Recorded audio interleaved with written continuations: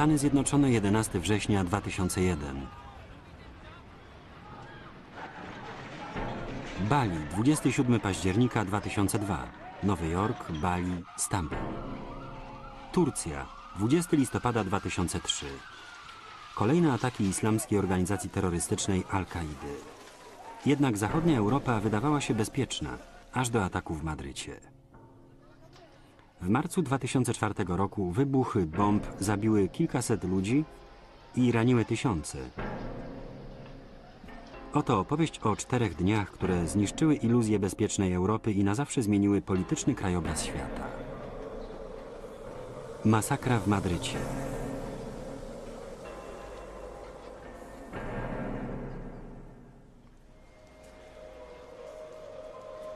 Czwartek, 11 marca. Zaczął się jak zwykły roboczy dzień. 200 tysięcy osób jechało do pracy do miasta. W tłumie ukrytych było 12 toreb wypełnionych materiałami wybuchowymi.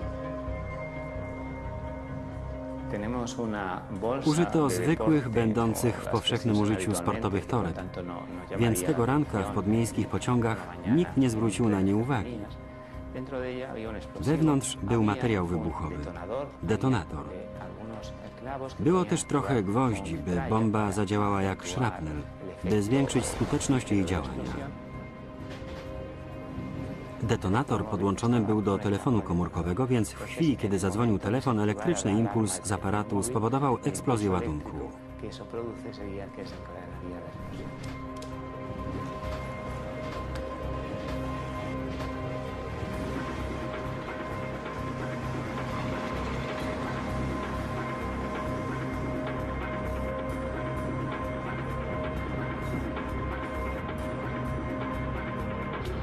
Dzień pierwszy.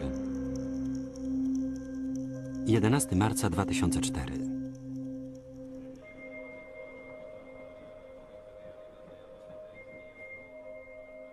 Pośród tysięcy osób śpieszących do Madrytu był 17-letni student z Ekwadoru, Jose Luis Tenesaka. Wziął swoje rzeczy i jak zwykle przyszedł się pożegnać. Zgodnie z naszym zwyczajem poprosił mnie o błogosławieństwo. Powiedziałam, niech cię Bóg błogosławi. I on wyszedł. Rita i Alberto przyjechali do Hiszpanii cztery lata temu w nadziei, że ich syn będzie miał tu lepsze życie. To było nasze jedyne dziecko.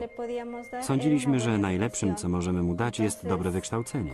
Długo roztrząsaliśmy pomysł przyjazdu do Hiszpanii, choć znajomość języka była ogromną zaletą.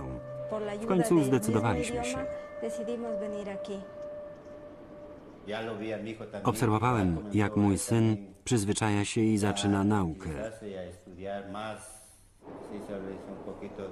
Było trudno, lecz on się nie poddawał.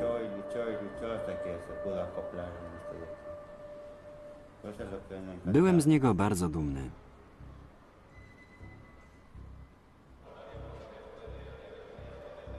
Matka innego jedynaka, Dori Majali, była bardzo podekscytowana, bo jechała właśnie do nowej pracy.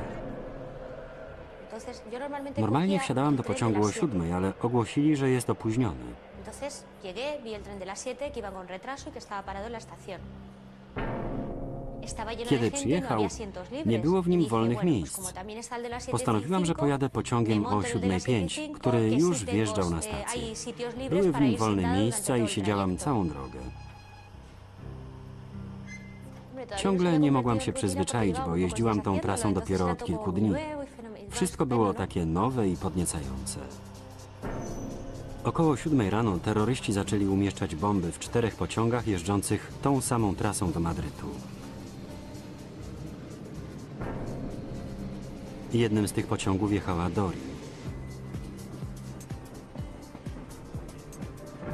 Kilka minut później do jednego z pociągów wsiadł syn Amparo y Medio, 34-letni Francisco. Anterior Poprzedniego wieczora siedzieliśmy w domu i oglądaliśmy mecz w telewizji. y W czasie drugiej połowy syn poszedł spać, bo rano musiał al wcześnie día siguiente. wstać. Wszystko było jak zwykle. me Kiedy szedł spać, pocałował mnie na dobranoc. Wstał puede wcześnie. sentir Słyszałam, jak wychodził, ale se zostałam w łóżku. Y cama. Godzina 7.15. W pociągach znajdowało się 12 ukrytych bomb. W pobliżu jednej z nich siedziała Nilsa Arobo ze swoją trzyletnią córeczką Jennifer. Miała na imię Jennifer. W grudniu skończyła 3 lata. Jak poznała kogoś nowego, to najpierw była nieśmiała, ale jak już się oswoiła, gadała bez przerwy. Coge confianza y es que ya no para. Trzymała się poręczy przy drzwiach pierwszego wagonu. Y. Stałam za nią i miałyśmy wysiadać na stacji Me iba Atocha. a Atocha.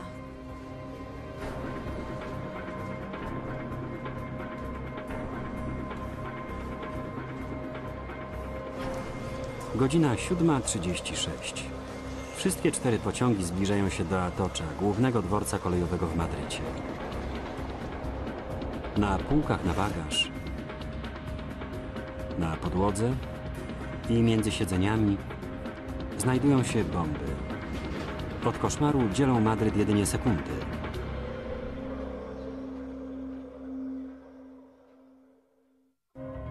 Masakra w Madrycie.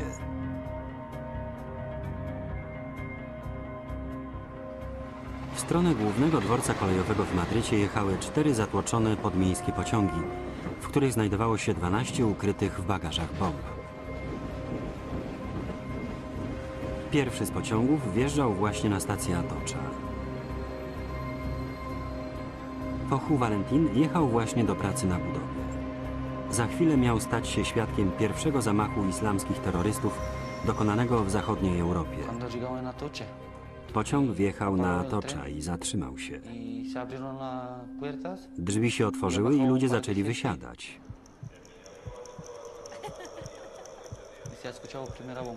Wtedy wybuchła pierwsza bomba. Wszyscy zaczęli krzyczeć bomba, bomba. Rzuciłem się na pomoc.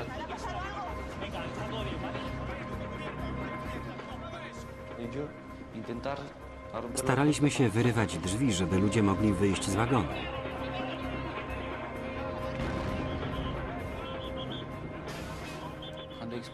Y Kiedy wybuchła druga bomba, krew była wszędzie.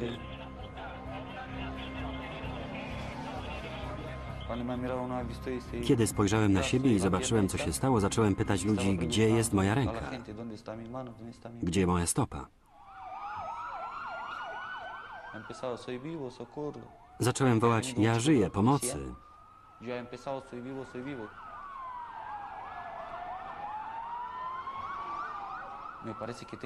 Podszedł do mnie policjant. Czułem się winny, bo chciałem pomóc, ale nie mogłem. no.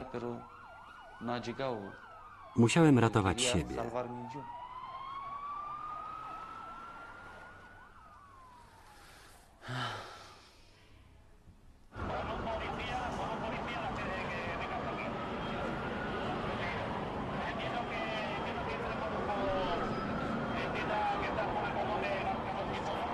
Wybuchy zniszczyły pierwszy pociąg na stacji Atocza.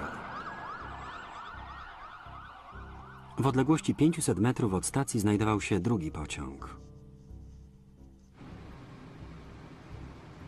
Za chwilę miały w nim eksplodować cztery kolejne bomby. Czytałam książkę. Spojrzałam na zegarek i pomyślałam, że 15 na dojście do pracy zostało mi hasta que 15 llegue minut.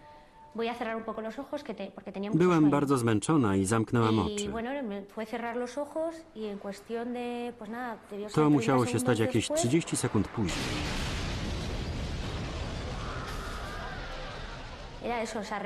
Doskonale pamiętam ten huk.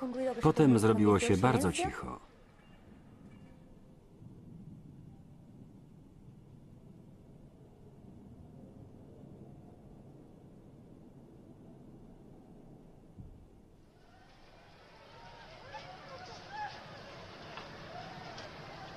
Zdjęcia wykonane przez przypadkowych świadków.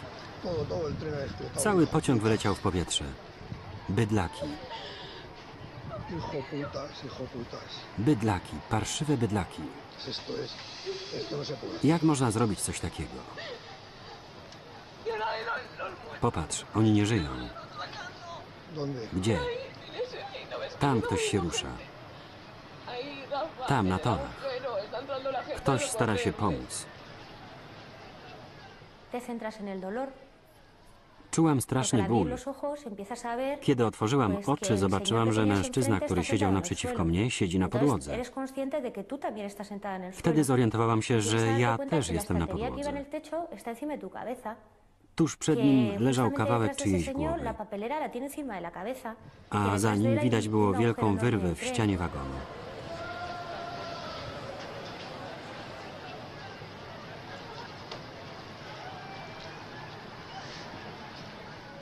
Le cogí las piernas y arrastrándome, Zebrałam się w sobie i zaczęłam się czołgać, starając się zwrócić na siebie y czyjąś uwagę.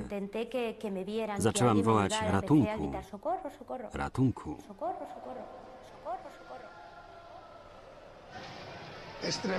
To straszne. Tam umiera jakiś de mężczyzna, ale nie pozwala się wynieść. Może stracił żonę albo córkę?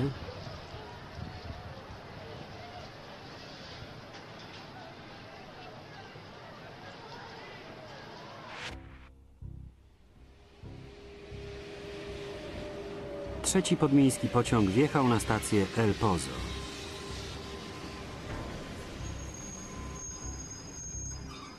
Było w nim około 1800 osób. I trzy bomby.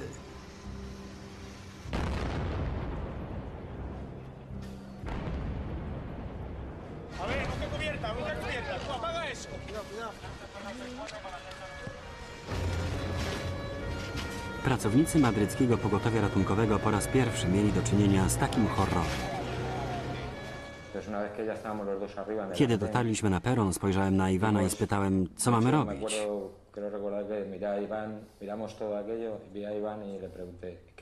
Na peronie, Na torach wszędzie było pełno ludzi. Większość z nich nie żyła. Pierwszą i najważniejszą czynnością było dokonanie selekcji ofiar. y eh, Trzeba było no zdecydować, kto nie ma szans na przeżycie, hay- no- na no kogo te nie warto tracić czasu. Y pues, Trzeba było zajmować się tymi, którzy mogli przeżyć. To było najgorsze.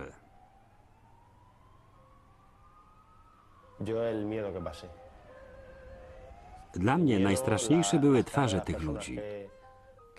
Twarze ludzi, którzy na mnie patrzyli. Niektórych przenosiliśmy, inni y mogli poruszać się y sami. Wszyscy oni na nas patrzyli. eh, Trzymali się nas tak mocno, że nie można się było wyrwać.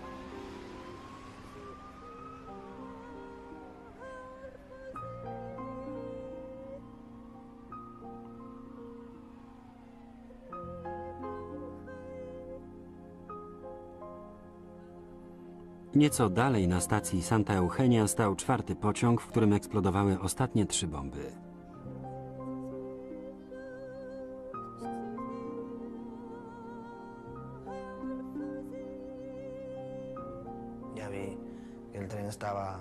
Widziałem ten wagon. Był rozdarty na pół. y, y. Ciała leżały na torach. No. Nie mogę zapomnieć widoku rannych. Y y y. Krew była wszędzie. Ludzie byli przerażeni.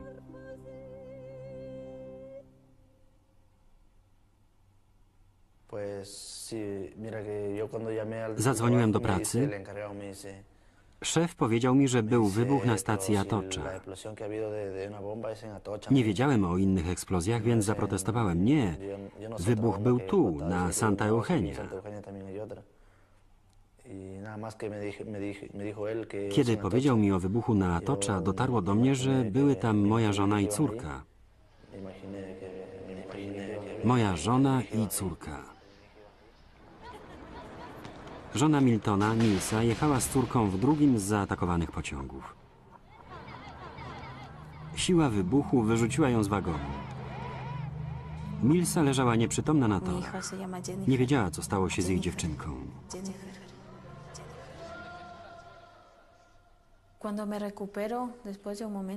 Kiedy doszłam do siebie, czułam się tak, jakbym obudziła się z głębokiego snu. Czułam się tak, jakbym się obudziła. y Natychmiast pomyślałam o mojej córeczce.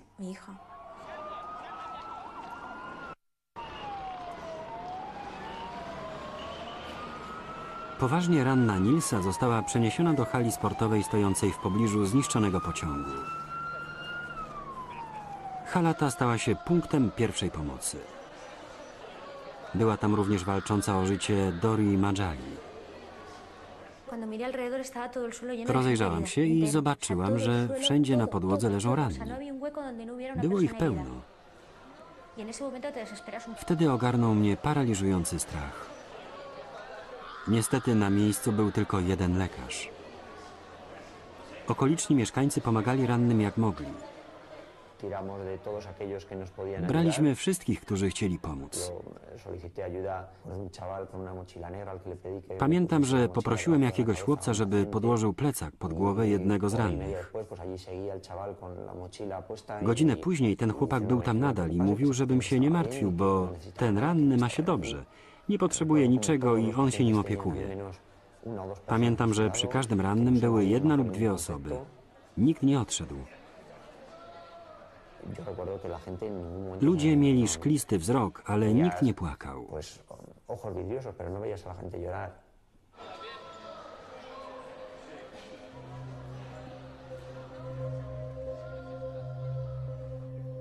Wieść o zamachach rozeszła się po mieście w ciągu pół godziny. Matka 17-letniego studenta, Jose Luisa, Rita, była w drodze do pracy. Była ósma rano i stałam na stacji, bo jechałam do pracy. Wtedy ogłoszono przez megafony, że na rozkaz władz zamknięte zostały wszystkie stacje kolejowe. Spytałam jakąś kobietę, co się stało. A ona powiedziała, że był wybuch w pociągu. Wtedy me zaczęłam się martwić. Obliczyłam sobie, że syn złapał pociąg o las 7.10 i że mógł być właśnie w tym pociągu.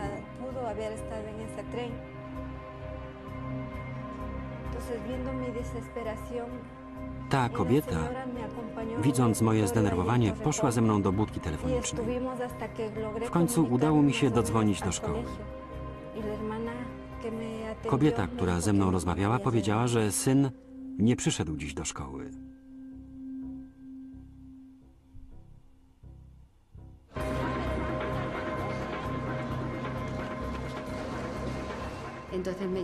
O wpół do dziewiątej zadzwoniła do mnie córka, mówiąc, że w pociągu wybuchła bomba. Powiedziała, że nie wie, czy jej brat pojechał do szkoły pociągiem, czy samochodem.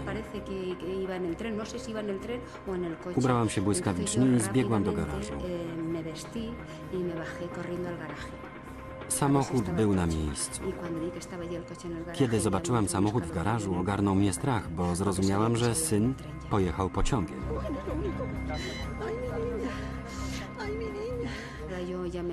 Zadzwoniłam do niego na telefon komórkowy, ale nie odpowiadał. Wiedziałam już, że coś mu się stało.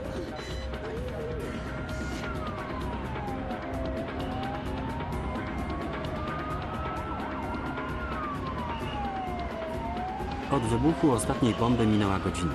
W mieście zapanował chaos. Z racji przeciążenia madryckich służb ratowniczych, rannych do szpitali przewożono taksówkami.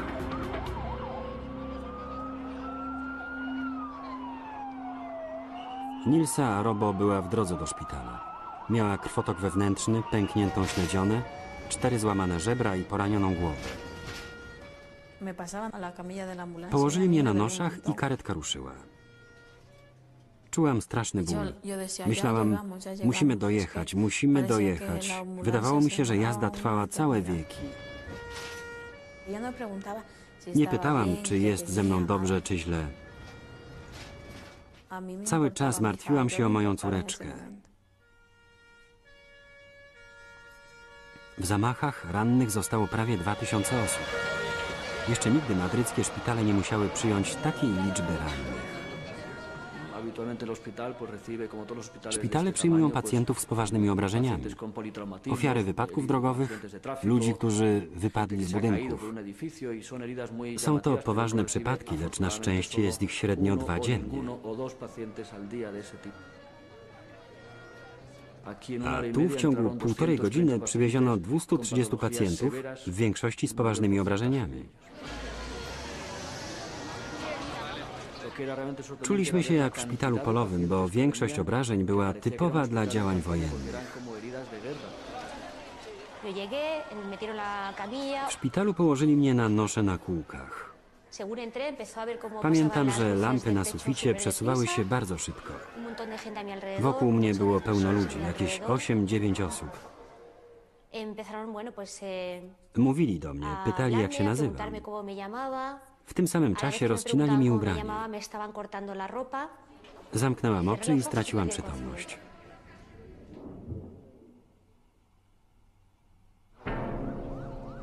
Dwie godziny po ostatniej eksplozji.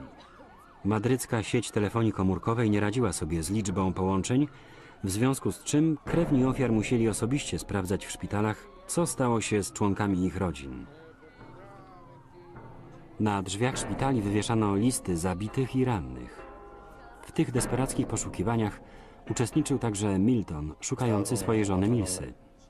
Ktoś źle zapisał jej nazwisko. Zamiast Milsa Arobo było Nilsa Aroba. Nikt nie wiedział, czy żyje, czy zginęła. To było straszne. Nie wiedziałem, co robić.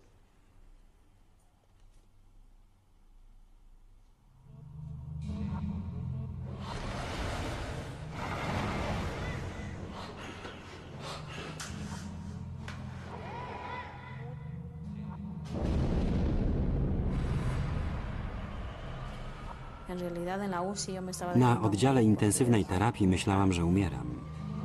Wołałam córeczko.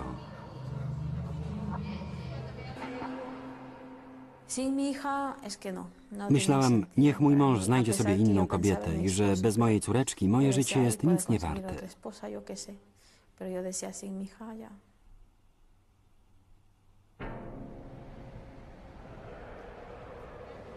Późny ranek. Seria zamachów wstrząsnęła fundamentami hiszpańskiej demokracji. Za trzy dni w całym kraju miały się odbyć wybory do parlamentu. Zamachy wyglądały na próbę wpłynięcia na wynik wyborów. W zaistniałej sytuacji rząd zwołał serię konferencji prasowych. Jest oczywiste, że to terrorystyczna organizacja ETA przeprowadziła ten straszliwy w skutkach atak, siejąc ból, strach i powodując śmierć wielu ofiar.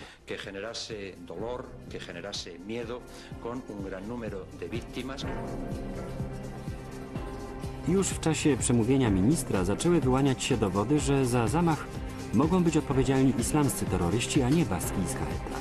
Fakt ten mógł podważyć wiarygodność rządu i wpłynąć na wynik wyborów.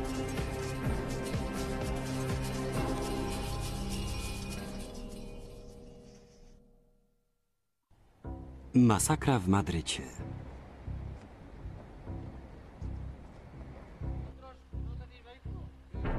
Południe.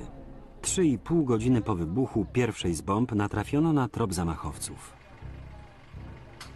Na parkingu koło jednej ze stacji znaleziono porzuconą furgonetkę. To, co w niej znaleziono, przeczyło twierdzeniom rządu, jakoby głównym podejrzanym była organizacja baskijskich separatystów ETA. W trakcie przeszukiwania w samochodzie znaleziono zapalniki. Zdaniem policji były one takie same jak te, których użyto do odpalenia bomb. Znaleziono także ślady materiałów wybuchowych. Była również kaseta z nagranymi se wersetami z Koranu oraz odciski palców. Ślady wskazywały wyraźnie, że za atak odpowiedzialni są islamscy terroryści. Rząd wiedział o znalezieniu furgonetki, mimo to nadal twierdził, że zamach był dziełem ETA. Byłem bardzo zdziwiony tym, z jak ogromnym uporem rząd promował tezę o odpowiedzialności ETA. Wezwano wszystkich dziennikarzy, wszystkich zagranicznych korespondentów, by poinformować ich, że zamachu dokonała ETA. Nigdy wcześniej nie robiono niczego takiego. Rząd wystąpił do Rady Bezpieczeństwa Organizacji Narodów Zjednoczonych z propozycją rezolucji potępiającej ETA. Nigdy wcześniej tak nie robiono. Siły bezpieczeństwa i Ministerstwo Spraw Wewnętrznych nie mają wątpliwości, że za atak odpowiedzialna jest banda terrorystów Zeta. Wszystko to skłania do wniosku, że rząd bardzo nie chciał przyznać, że coraz więcej śladów wskazuje bardziej na Al-Kaidę niż na ETA.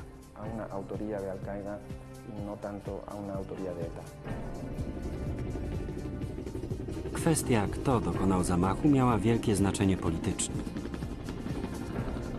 Partia będąca u władzy popierała wojnę w Iraku, mimo że 80% hiszpańskich wyborców było temu przeciwnych.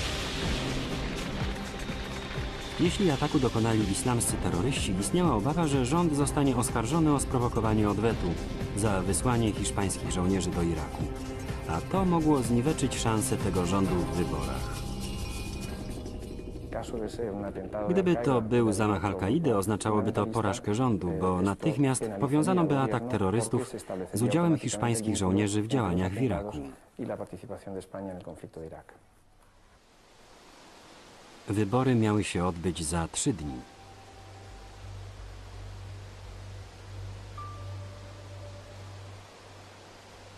Wczesne popołudnie.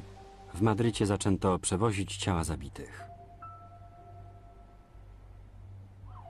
Wykonanie tego smutnego obowiązku powierzono miejskim strażakom.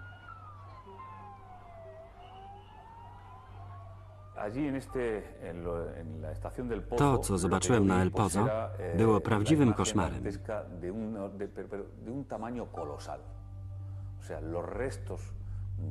Ludzkie szczątki porozrzucane były po całej stacji.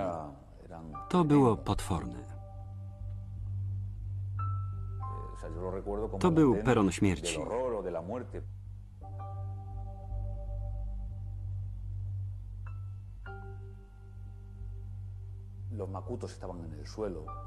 Torba z bombą znajdowała się na podłodze wagonu i wybuch poodrywał ludziom nogi.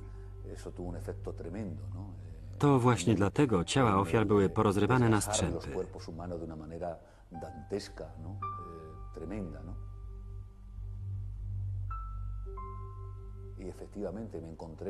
Jedno ciało i szczątki innych znaleźliśmy na dachu stacji.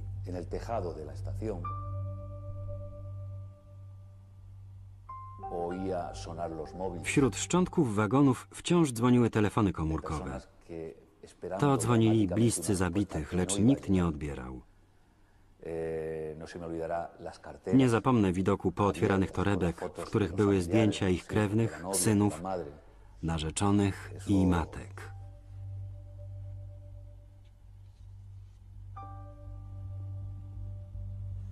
W masakrze zginęło 191 osób. W Madrycie nie było odpowiednio dużej kostnicy, by pomieścić wszystkie ciała.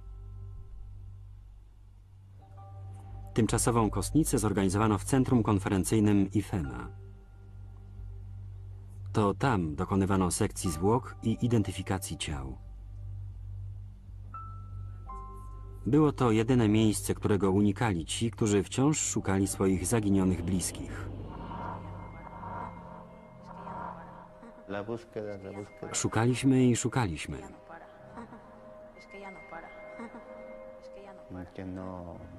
W czwartek nie znaleźliśmy go w żadnym szpitalu. Szukaliśmy cały dzień, bez skutku. Ktoś powiedział, jedźcie do IFEMA, wszyscy tak robią.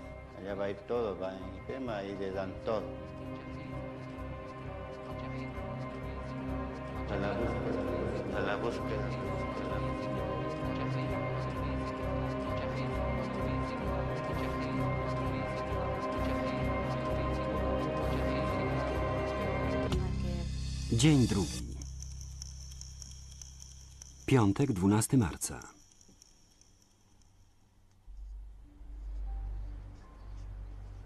Madryt budził się po koszmarze ostatnich 24 godzin.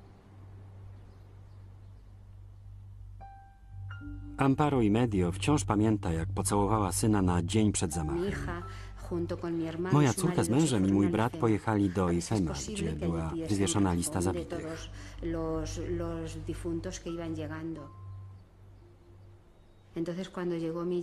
Kiedy zięć wrócił do domu, zapytałam, Paco, wiesz ¿cómo już, co się ¿Qué z nim stało? Y A on odpowiedział tak. Więc co z nim? Co się stało? A on powiedział, nie żyje. Wyobrażacie sobie, w jakim byłam stanie. To był naprawdę straszny dzień.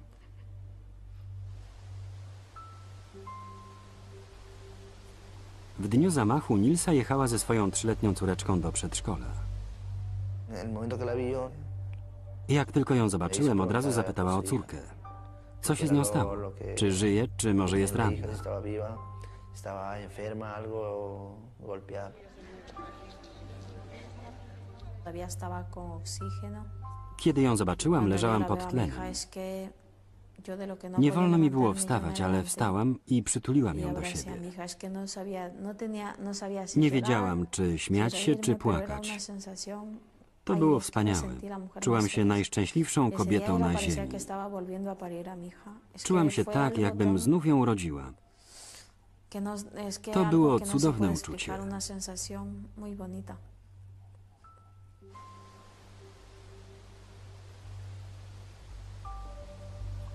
Dori Majali cieszyła się, że zaczyna nową pracę. 24 horas después. Ocknęłam się po desperté, 24 godzinach. Ktoś mnie spytał, ¿Cómo jak się czuję. Powiedziałam, że jestem szczęśliwa, bo żyję.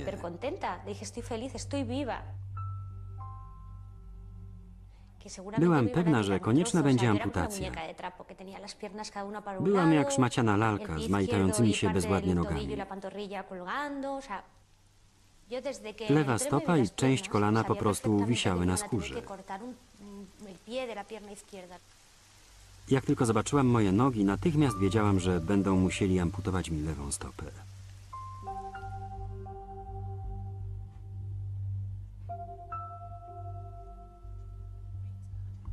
Pełni nadziei na lepszą przyszłość w nowym kraju, Rita i Alberto patrzyli, jak ich 17-letni syn, Jose Luis, wychodzi do szkoły.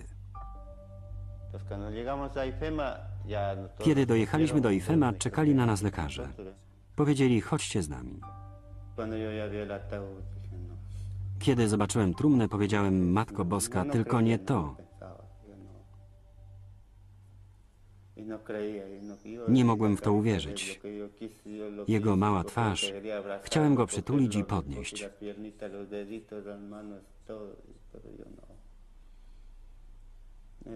To był koszmar. Zobaczyć tam mojego syna.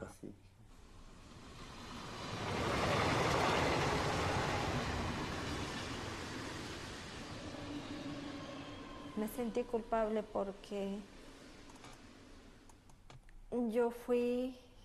Czułam más się winna, bo to ja nalegałam na wyjazd do Hiszpanii. Chciałam zapewnić mu lepsze życie. W tamtej chwili czułam się odpowiedzialna za to, co się stało. Matka chce y dla swojego syna wszystkiego, co najlepsze, a nie jego śmierci.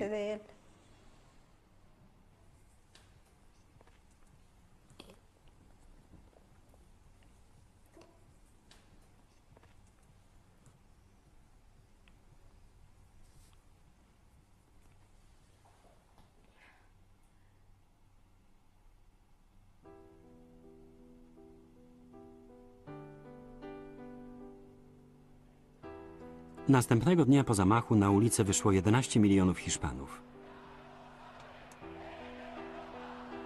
Cały naród zjednoczył się w żałobie.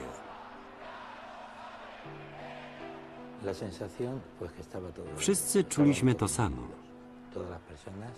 Wszyscy byliśmy tam po to, żeby poprzeć pokój i powiedzieć nie przemocy. Y no To był wspaniały widok. Były tam całe rodziny z dziećmi i niemowlętami, małżeństwa, ludzie, którzy przecież mogli siedzieć sobie w kawiarniach i pić. Byli tam wszyscy i nikt nie przejmował się tym, że pada deszcz. Ludzie otwierali parasole, a jak ktoś nie miał swojego, to mógł się schronić pod cudzym. To było piękne.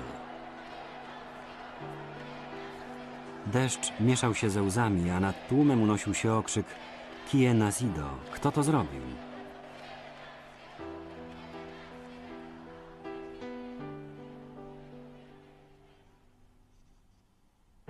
Dzień trzeci. Sobota, 13 marca. Wybory do parlamentu miały odbyć się nazajutrz. Rząd wciąż utrzymywał, że głównym podejrzanym jest baskijska ETA. Jednak zgromadzone dowody coraz wyraźniej wskazywały na islamskich terrorystów. Policja aresztowała pięciu podejrzanych, w tym jednego mającego powiązania z Al-Kaidą. Przyparty do muru rząd zaprzeczył, jakoby ukrywał fakty, by zapewnić sobie zwycięstwo w wyborach. Rząd Hiszpanii nie ukrywał informacji ani nie zatajał dowodów. To bezpodstawne twierdzenie, nic takiego nie miało miejsca. Podawaliśmy informacje, w których prawdziwość wierzyliśmy w tamtym czasie. Nie ukrywaliśmy żadnych informacji. Sporo ludzi nie miało wątpliwości, że rząd przeciąga całe postępowanie, by doczekać do dnia wyborów, do niedzieli. Żeby nie było całkowitej jasności co do tego, kto był odpowiedzialny za dokonanie zamachu.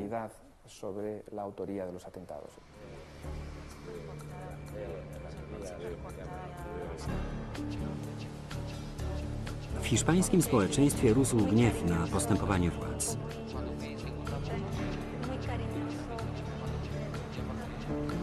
W Madrycie rozsyłano SMS-y nawołujące ludzi do protestu.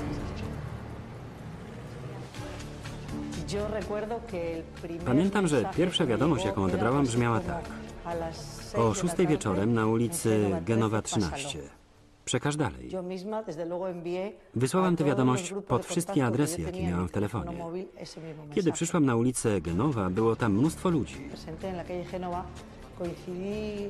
Stałam dokładnie na wprost wejścia do głównej siedziby Partii Ludowej.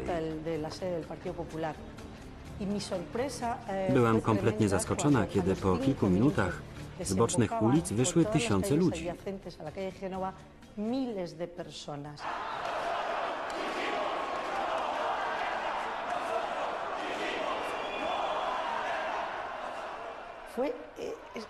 Gniewny tłum domagał się wyjaśnień.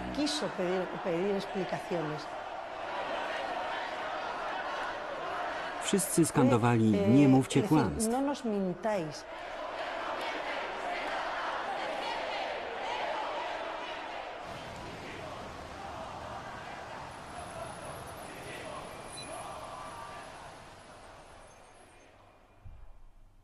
Dzień czwarty. Niedziela 14 marca.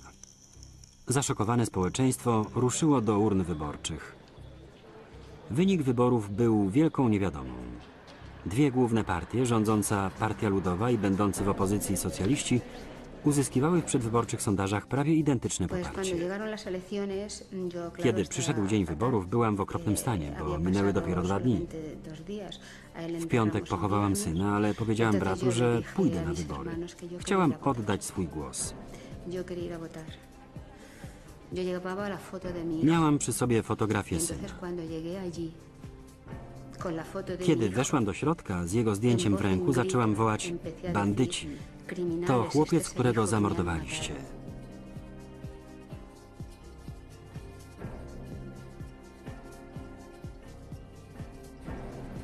Niedzielny wieczór.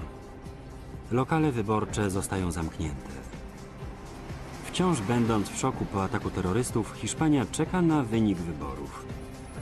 To był kulminacyjny moment czterech dni, które wstrząsnęły całą Europą.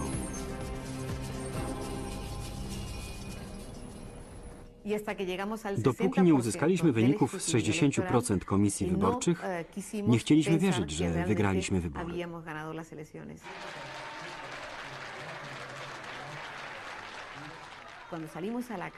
Potem wyszliśmy na ulicę, by podziękować ludziom, którzy świętowali zwycięstwo. Wszyscy wołali, bądźcie z nami.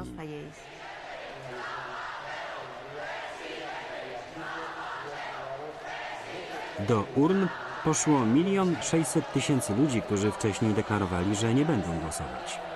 Kolejny milion stanowili ci, którzy w ostatniej chwili zrezygnowali z popierania Partii Ludowej. Te 2 miliony 600 tysięcy głosów zadecydowało o wyniku wyborów. Jeśli wziąć pod uwagę, że różnica między socjalistami a ludowcami wynosiła jedynie milion trzysta tysięcy głosów, wnioski są oczywiste. Partia Socjalistyczna wygrała wybory, bo wielka liczba obywateli postanowiła nie bojkotować wyborów lub zagłosować na socjalistów, by ukarać rząd za wspieranie działań administracji Busha w Iraku.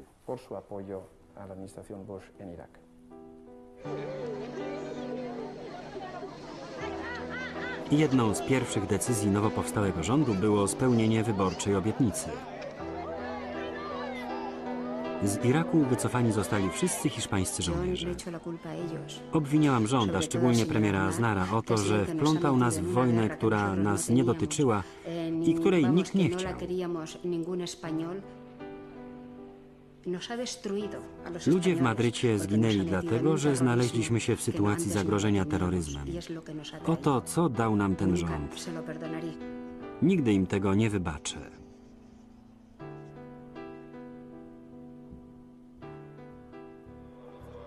Nadal nie wiadomo było jednak, kto podłożył bomby, które pogrążyły rząd. Aż znalazł się ślad. Jedna z bomb nie eksplodowała.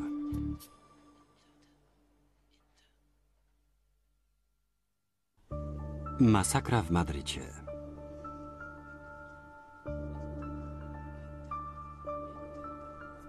Choć wszyscy byli przekonani, że zamach był dziełem islamskich terrorystów, nikt nie mógł tego udowodnić. Zamachowcy wciąż byli na wolności. Wśród porozrywanych szczątków wagonu znaleziono jedną z bomb.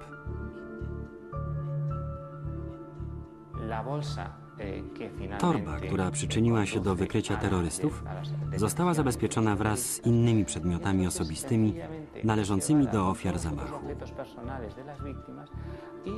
Nikt nie wiedział, co jest w środku, kiedy zabrano ją na komisariat policji.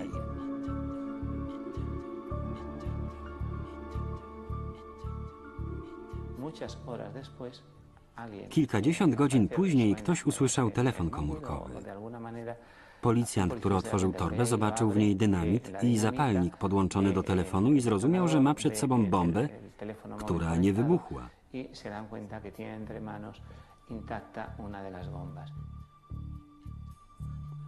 W telefonie znaleziono kartę typu prepaid, która była jedną z kilku zakupionych w tym samym miejscu tuż przed zamachem. To był ślad, który mógł prowadzić do terrorystów. Hiszpańska policja rozpoczęła podsłuch sieci telefonii komórkowej w Madrycie. W pewnym momencie wykryto rozmowę nadchodzącą z jednego z przedmieść stolicy. Na pomoc wezwano jednostkę antyterrorystyczną hiszpańskiej policji. Trzy tygodnie po zamachu.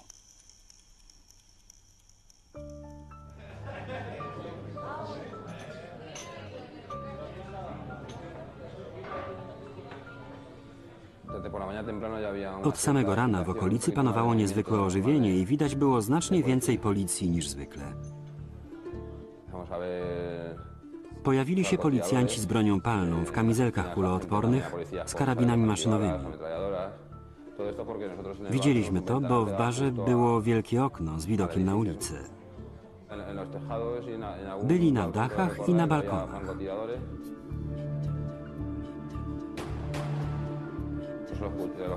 Usłyszałem strzały.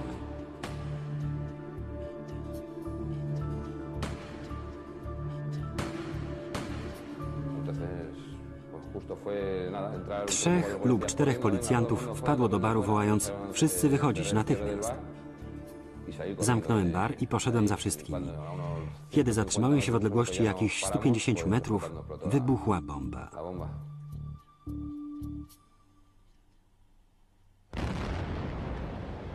Zamachowcami byli islamscy terroryści, którzy woleli wysadzić się w powietrze, niż poddać się policji.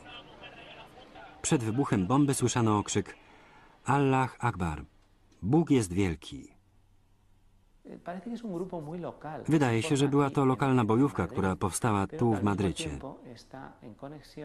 Grupa ta miała powiązania z międzynarodową siecią terrorystów, której centralą jest Al-Kaida.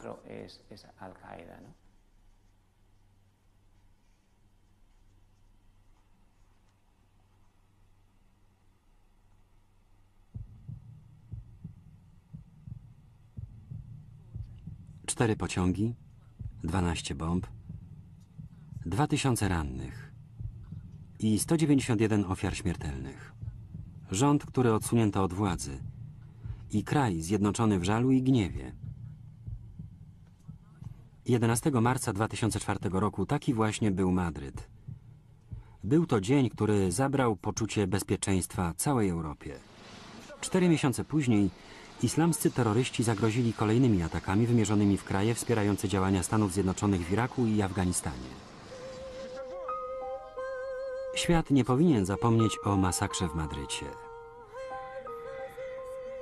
Psycholog poprosił Jennifer, żeby coś narysowała i córka narysowała pociąg. Ale nie cały, tylko rozbity na części. Córeczka narysowała mnie i siebie, jak leżymy na ziemi. Psycholog dał jej kredki, żeby pokolorowała rysunek, a ona pomalowała mnie na czerwono. Byłam cała we krwi. Lekarz powiedział mi, że to normalne, że to dobrze, że córeczka zaczęła wyrażać to, co jest w jej umyśle.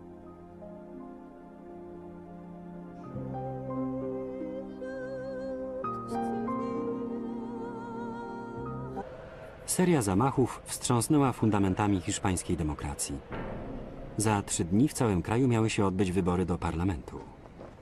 Zamachy wyglądały na próbę wpłynięcia na wynik wyborów. W zaistniałej sytuacji rząd zwołał serię konferencji prasowych. Jest oczywiste, że to terrorystyczna organizacja ETA przeprowadziła ten straszliwy w skutkach atak, siejąc ból, strach i powodując śmierć wielu ofiar.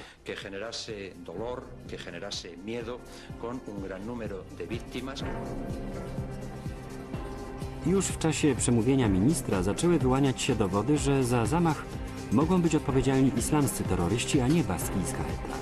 Fakt ten mógł podważyć wiarygodność rządu i wpłynąć na wynik wyborów.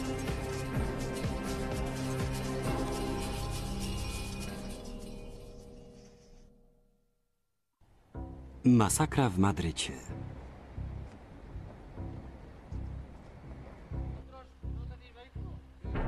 Południe. Trzy i pół godziny po wybuchu pierwszej z bomb natrafiono na trop zamachowców. Na parkingu koło jednej ze stacji znaleziono porzuconą furgonetkę. To, co w niej znaleziono, przeczyło twierdzeniom rządu, jakoby głównym podejrzanym była organizacja baskijskich separatystów ETA. W trakcie przeszukiwania w samochodzie znaleziono zapalniki. Choć wszyscy byli przekonani, że zamach był dziełem islamskich terrorystów, nikt nie mógł tego udowodnić. Zamachowcy wciąż byli na wolności. Wśród porozrywanych szczątków wagonu znaleziono jedną z bomb.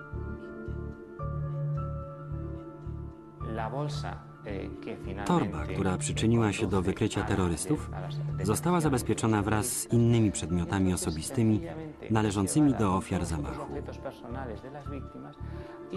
Nikt nie wiedział, co jest w środku, kiedy zabrano ją na komisariat policji.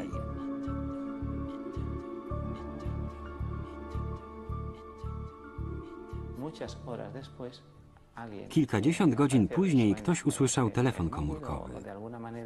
Policjant, który otworzył torbę, zobaczył w niej dynamit i zapalnik podłączony do telefonu i zrozumiał, że ma przed sobą bombę, która nie wybuchła.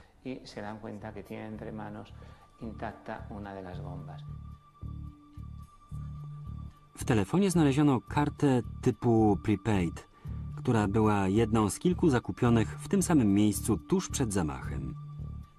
To był ślad, który mógł prowadzić do terrorystów. Hiszpańska policja rozpoczęła podsłuch sieci telefonii komórkowej w Madrycie. W pewnym momencie wykryto rozmowę nadchodzącą z jednego z przedmieść stolicy. Na pomoc wezwano jednostkę antyterrorystyczną Hiszpanii. Rząd Hiszpanii nie ukrywał informacji ani nie zatajał dowodów. To bezpodstawne twierdzenie, nic takiego nie miało miejsca. Podawaliśmy informacje, w których prawdziwość wierzyliśmy w tamtym czasie. Nie ukrywaliśmy żadnych informacji. Sporo ludzi nie miało wątpliwości, że rząd przeciąga całe postępowanie, by doczekać do dnia wyborów, do niedzieli. Żeby nie było całkowitej jasności co do tego, kto był odpowiedzialny za dokonanie zamachu.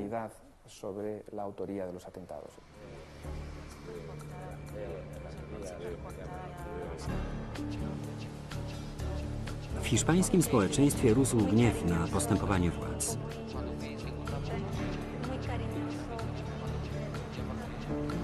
W Madrycie rozsyłano SMS-y nawołujące ludzi do protestu.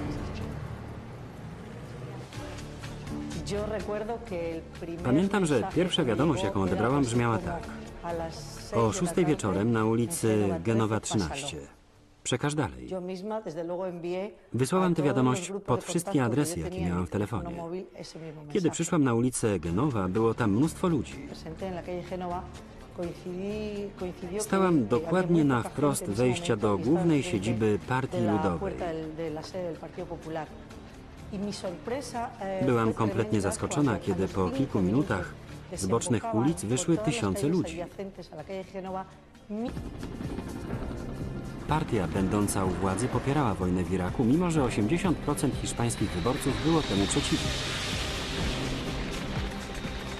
Jeśli ataku dokonali islamscy terroryści, istniała obawa, że rząd zostanie oskarżony o sprowokowanie odwetu za wysłanie hiszpańskich żołnierzy do Iraku.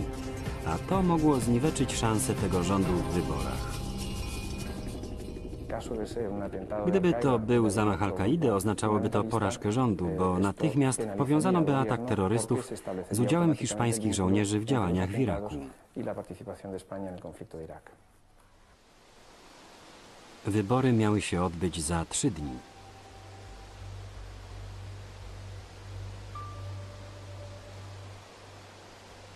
Wczesne popołudnie.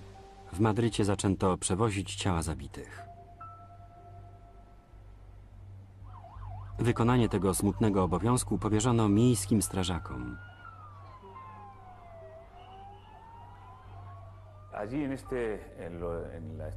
To, co zobaczyłem na El Pozo, było prawdziwym koszmarem.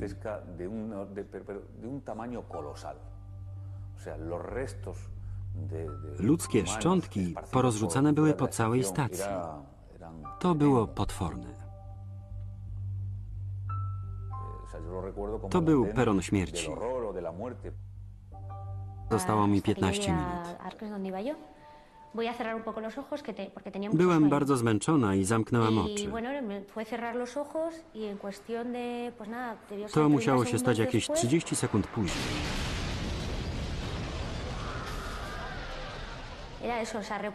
Doskonale pamiętam ten huk. Potem zrobiło się bardzo cicho.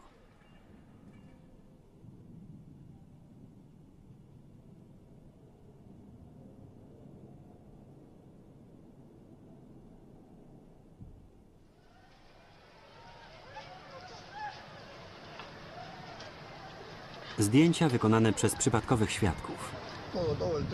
Cały pociąg wyleciał w powietrze. Bydlaki. Bydlaki, parszywe bydlaki. Jak można zrobić coś takiego? Popatrz, oni nie żyją. Gdzie? Tam ktoś się rusza. Tam, na torach. Ktoś stara się pomóc. Czułam straszny ból. Kiedy otworzyłam oczy, zobaczyłam, że mężczyzna, który siedział naprzeciwko mnie, siedzi na podłodze. Wtedy zorientowałam się, że ja też jestem na podłodze. Tuż przed nim leżał kawałek czyjejś głowy. Kilkadziesiąt godzin później ktoś usłyszał telefon komórkowy. Policjant, który otworzył torbę, zobaczył w niej dynamit i zapalnik podłączony do telefonu i zrozumiał, że ma przed sobą bombę, która nie wybuchła.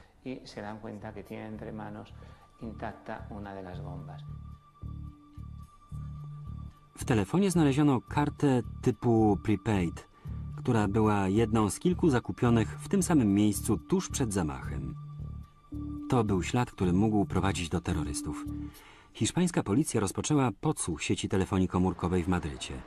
W pewnym momencie wykryto rozmowę nadchodzącą z jednego z przedmieść stolicy. Na pomoc wezwano jednostkę antyterrorystyczną hiszpańskiej policji. Trzy tygodnie po zamachu.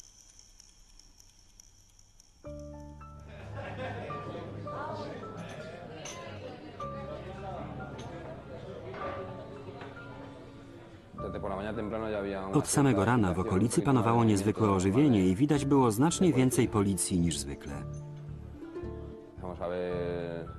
Pojawili się policjanci z bronią palną w kamizelkach kuloodpornych z karabinami maszynowymi.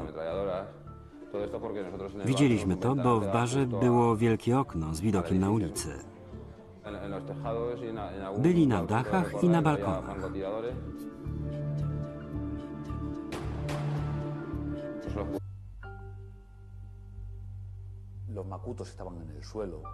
Y Torba z bombą znajdowała się na podłodze wagonu i wybuch poodrywał ludziom nogi.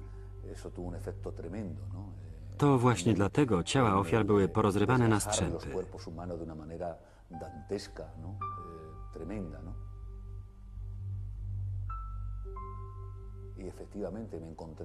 Y Jedno ciało i szczątki innych znaleźliśmy na dachu stacji. En el tejado de la estación.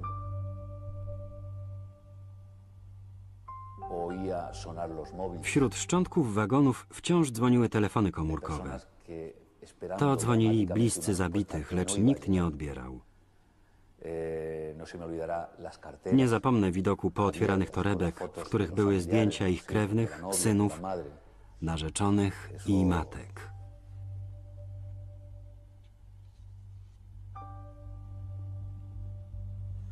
W masakrze zginęło 191 osób. W Madrycie nie było odpowiednio dużej kostnicy, by pomieścić wszystkie ciała. Tymczasową kostnicę zorganizowano w centrum konferencyjnym IFEMA. To tam dokonywano sekcji zwłok i identyfikacji ciał. Było to jedyne miejsce, którego unikali ci, którzy wciąż szukali swoich zaginionych. Nilsa Robo była w drodze do szpitala. Miała krwotok wewnętrzny, pękniętą śledzionę, cztery złamane żebra i poranioną głowę. Położyli mnie na noszach i karetka ruszyła. Czułam straszny ból. Myślałam, musimy dojechać, musimy dojechać. Wydawało mi się, że jazda trwała całe eternidad. wieki. No Nie pytałam, czy jest ze mną dobrze, czy źle. Cały czas martwiłam się o moją córeczkę. W zamachach rannych zostało prawie 2000 osób. Jeszcze nigdy madryckie szpitale nie musiały przyjąć takiej liczby rannych.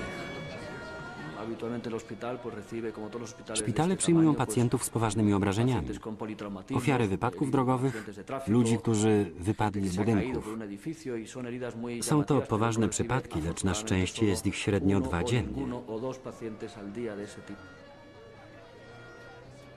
A y tu w ciągu półtorej 230 godziny przywieziono pacientes 230 con patologías pacjentów, w większości z poważnymi obrażeniami. Czuliśmy się jak w szpitalu polowym, bo większość obrażeń była typowa dla działań wojennych.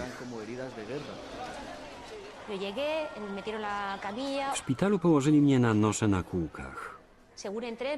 Zebrałam się w sobie i zaczęłam się czołgać, starając się zwrócić na siebie czyjąś uwagę. Zaczęłam wołać ratunku. Ratunku.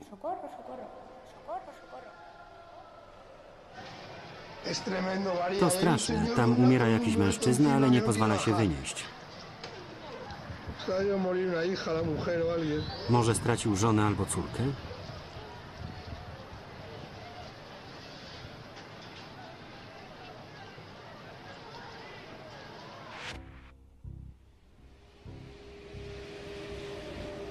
Trzeci podmiejski pociąg wjechał na stację El Pozo.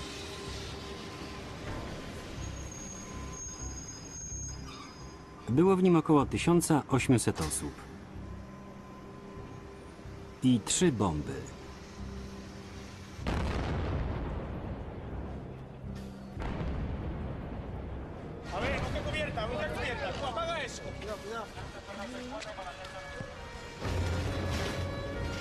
Pracownicy madryckiego pogotowia ratunkowego po raz pierwszy mieli do czynienia z takim horrorem. Kiedy dotarliśmy na peron, spojrzałem na Iwana i spytałem, co mamy robić. y.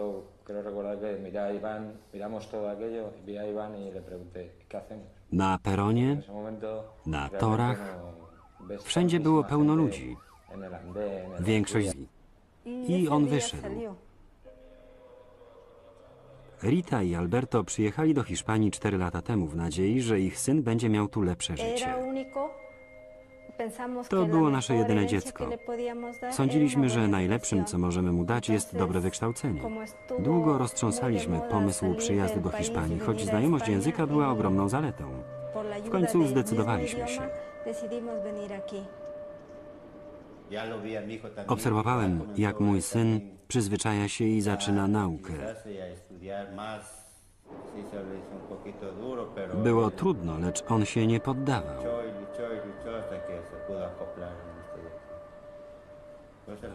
Byłem z niego bardzo dumny.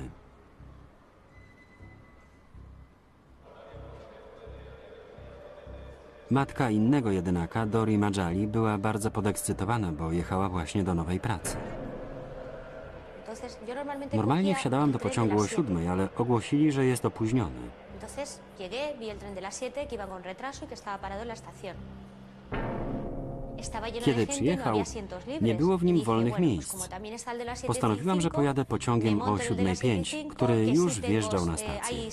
Były w nim wolne miejsca i siedziałam całą drogę. No Ciągle había nie mogłam się przyzwyczaić, bo jeździłam tą trasą dopiero od kilku dni. y. Wszystko przekonani, że zamach był dziełem islamskich terrorystów, nikt nie mógł tego udowodnić. Zamachowcy wciąż byli na wolności. Wśród porozrywanych szczątków wagonu znaleziono jedną z bomb. Finalmente Torba, która przyczyniła się do wykrycia terrorystów, została zabezpieczona wraz z innymi przedmiotami osobistymi należącymi do ofiar zamachu. Nikt nie wiedział, co jest w środku, kiedy zabrano ją na komisariat policji.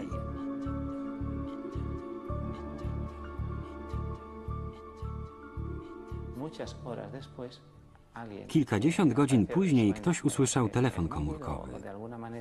Policjant, który otworzył torbę, zobaczył w niej dynamit i zapalnik podłączony do telefonu i zrozumiał, że ma przed sobą bombę, która nie wybuchła. y.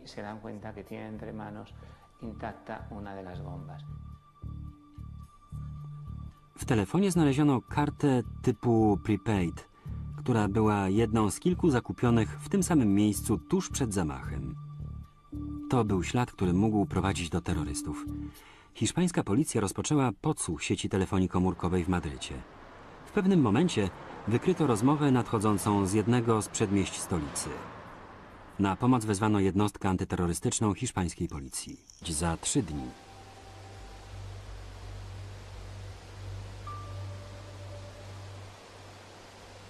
Wczesne popołudnie. W Madrycie zaczęto przewozić ciała zabitych. Wykonanie tego smutnego obowiązku powierzono miejskim strażakom.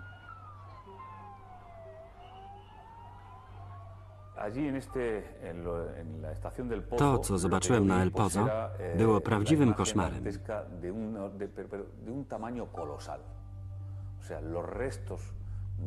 Ludzkie szczątki porozrzucane były po całej stacji. To było potworne. To był peron śmierci.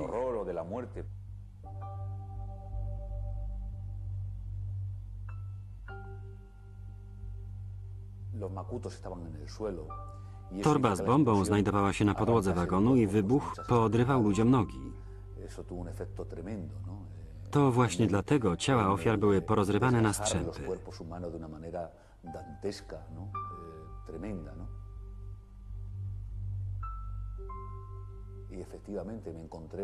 Jedno ciało i szczątki innych znaleźliśmy na dachu stacji.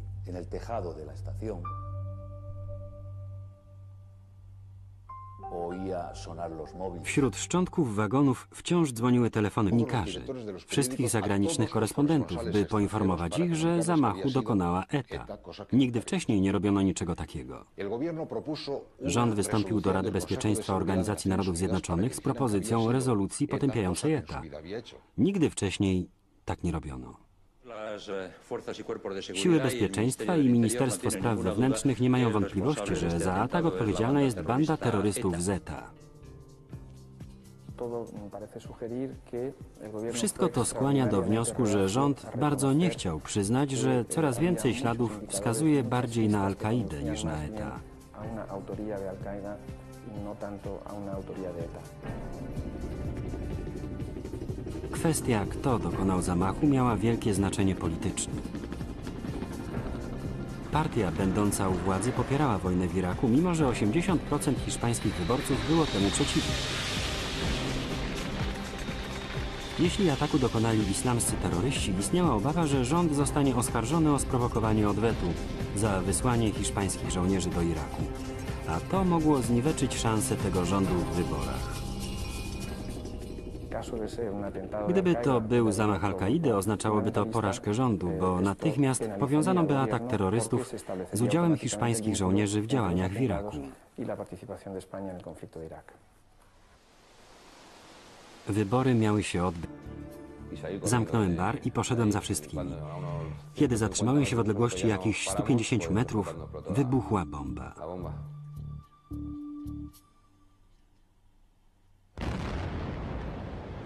Zamachowcami byli islamscy terroryści, którzy woleli wysadzić się w powietrze, niż poddać się policji. Przed wybuchem bomby słyszano okrzyk Allah Akbar. Bóg jest wielki. Wydaje się, że była to lokalna bojówka, która powstała tu w Madrycie. Grupa ta miała powiązania z międzynarodową siecią terrorystów, której centralą jest Al-Kaida.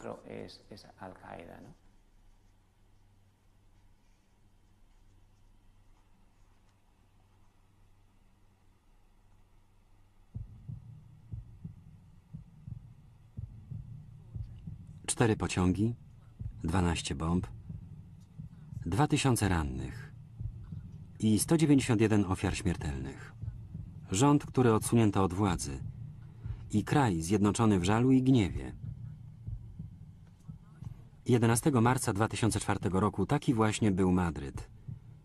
Był to dzień, który zabrał poczucie bezpieczeństwa całej Europie. Cztery miesiące później islamscy terroryści zagrozili kolejnymi atakami wymierzonymi w kraje wspierające działania Stanów Zjednoczonych w Iraku i Afganistanie. Świat nie powinien zapomnieć o masakrze w Madrycie. Psycholog poprosił Jennifer, żeby coś narysowała i córka narysowała pociąg. Ale nie cały, tylko rozbity na części. Córeczka narysowała mnie i siebie, jak leżymy na ziemi. Psycholog dał jej kredki, żeby pokolorowała rysunek, a ona pomalowała mnie na czerwono. Byłam cała we krwi. Lekarz powiedział mi, że to normalne, że to dobrze, że córeczka zaczęła wyrażać to, co jest w jej umyśle.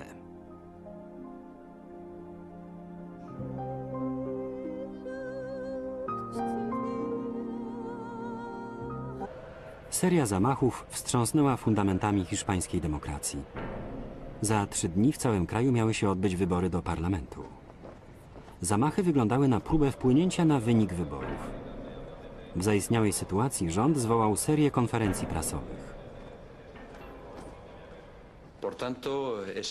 Jest oczywiste, że to terrorystyczna organizacja ETA przeprowadziła ten straszliwy w skutkach atak, siejąc ból, strach i powodując śmierć wielu ofiar.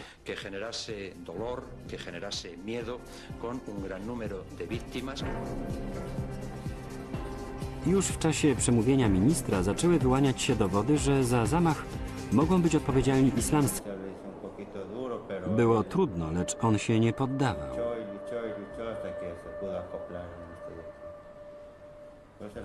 Byłem z niego bardzo dumny.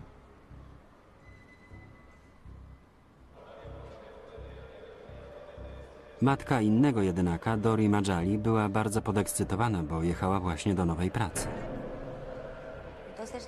Normalnie wsiadałam do pociągu o siódmej, ale ogłosili, że jest opóźniony. Tren de las 7 que iba con retraso y que estaba parado en la estación. Kiedy no przyjechał, nie było w Y nim dije, wolnych miejsc. como también está el de las 7 Postanowiłam, że pojadę pociągiem o 7.05, który już wjeżdżał na stację. Były w nim wolne miejsca i siedziałam całą drogę. Ciągle nie mogłam się przyzwyczaić, bo jeździłam tą trasą dopiero od kilku dni. Wszystko było takie nowe i podniecające. Około siódmej rano terroryści zaczęli umieszczać bomby w czterech pociągach jeżdżących tą samą trasą do Madrytu. Jednym z tych pociągów jechała Dori. Kilka minut później do jednego z pociągów wsiadł syn Amparo i Medio, 34-letni Francisco. Anterior Poprzedniego wieczora siedzieliśmy w domu i oglądaliśmy mecz w telewizji. y W czasie drugiej połowy syn poszedł spać, bo rano musiał wcześniej wstać. Wszystko było jak zwykle. Kiedy szedł spać, pocałował mnie na dobranoc. Wstał pude wcześnie. sentir Słyszałam, jak wychodził, ale se zostałam w łóżku.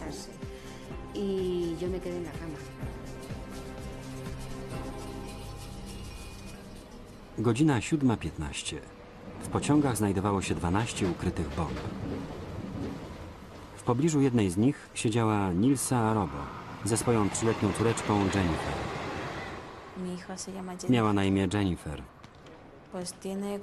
W grudniu skończyła 3 lata. Jak poznała kogoś nowego, to najpierw była nieśmiała, ale jak już się oswoiła, gadała bez przerwy. coge confianza y es que ya no para. Trzymała się poręczy przy drzwiach pierwszego wagonu. Y. Stałam za nią i miałyśmy wysiadać na stacji Me iba Atocha. a Atocha.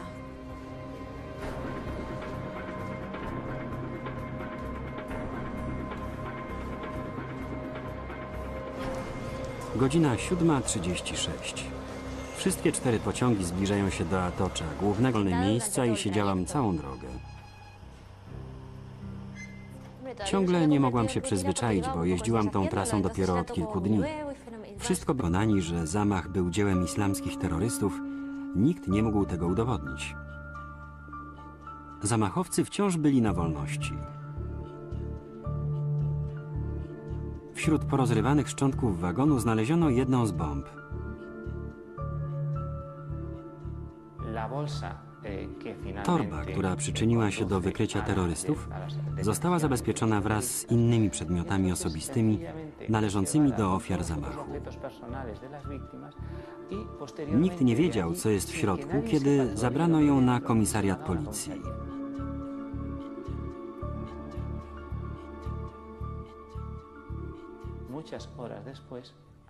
Kilkadziesiąt godzin później ktoś usłyszał telefon komórkowy. Policjant, który otworzył torbę, zobaczył w niej dynamit i zapalnik podłączony do telefonu i zrozumiał, że ma przed sobą bombę, która nie wybuchła.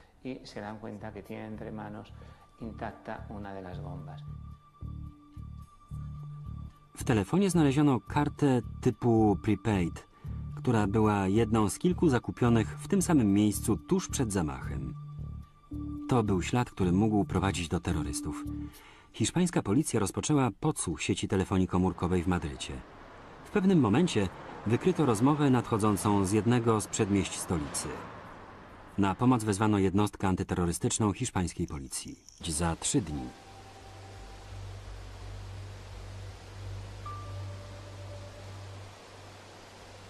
Wczesne popołudnie. W Madrycie zaczęto przewozić ciała zabitych. Wykonanie tego smutnego obowiązku powierzono miejskim strażakom.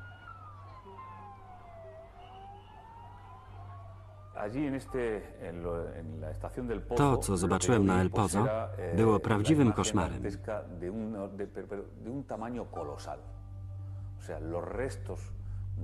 Ludzkie szczątki porozrzucane były po całej stacji.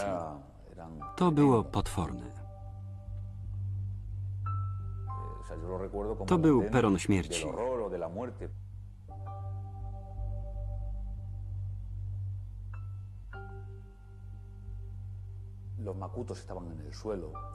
Torba z bombą znajdowała się na podłodze wagonu i wybuch poodrywał ludziom nogi. To właśnie dlatego ciała ofiar były porozrywane na strzępy.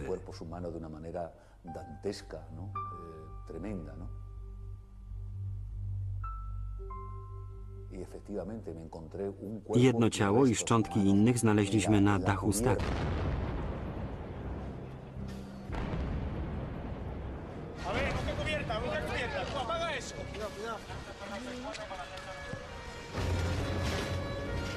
Pracownicy madryckiego pogotowia ratunkowego po raz pierwszy mieli do czynienia z takim horrorem.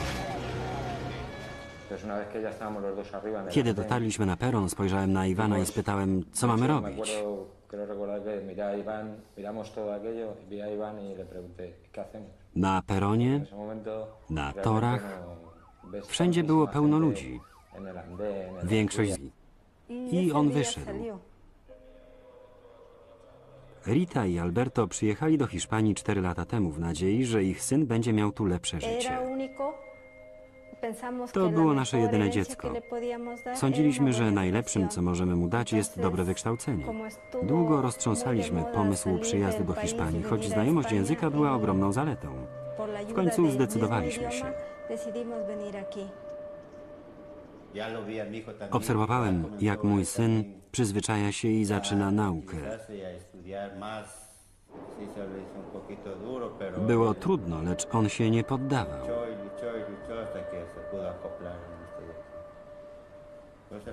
Byłem z niego bardzo dumny.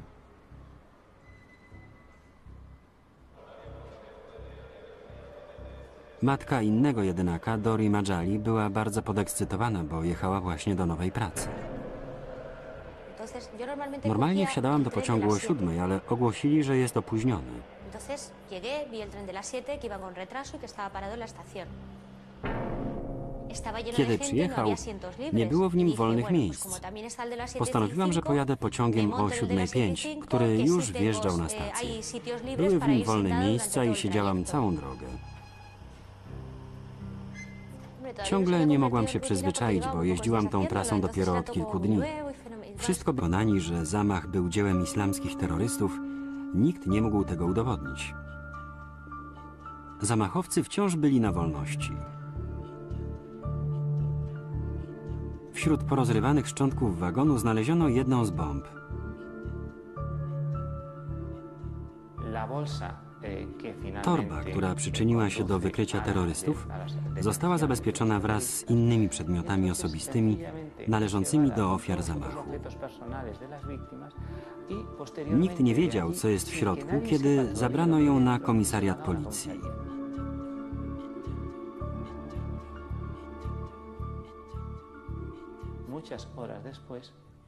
Kilkadziesiąt godzin później ktoś usłyszał telefon komórkowy. Policjant, który otworzył torbę, zobaczył w niej dynamit i zapalnik podłączony do telefonu. Mi desesperación, Ta kobieta, widząc moje zdenerwowanie, poszła ze mną do budki y telefonicznej. logré W końcu udało mi się dodzwonić do szkoły. Y Kobieta, która ze mną no rozmawiała, powiedziała, że syn nie przyszedł dziś do szkoły.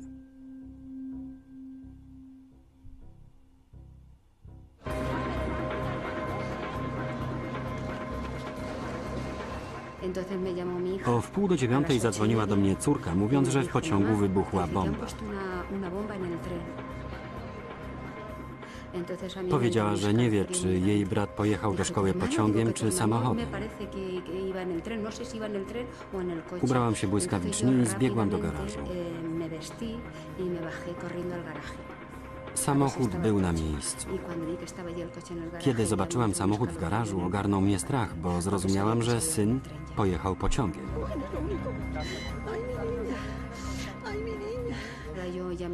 Zadzwoniłam do niego na el telefon komórkowy, ale nie odpowiadał.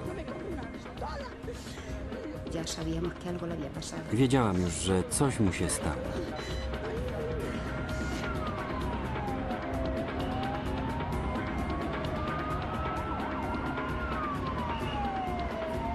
Od wybuchu ostatniej bomby minęła godzina. W mieście zapanował chaos.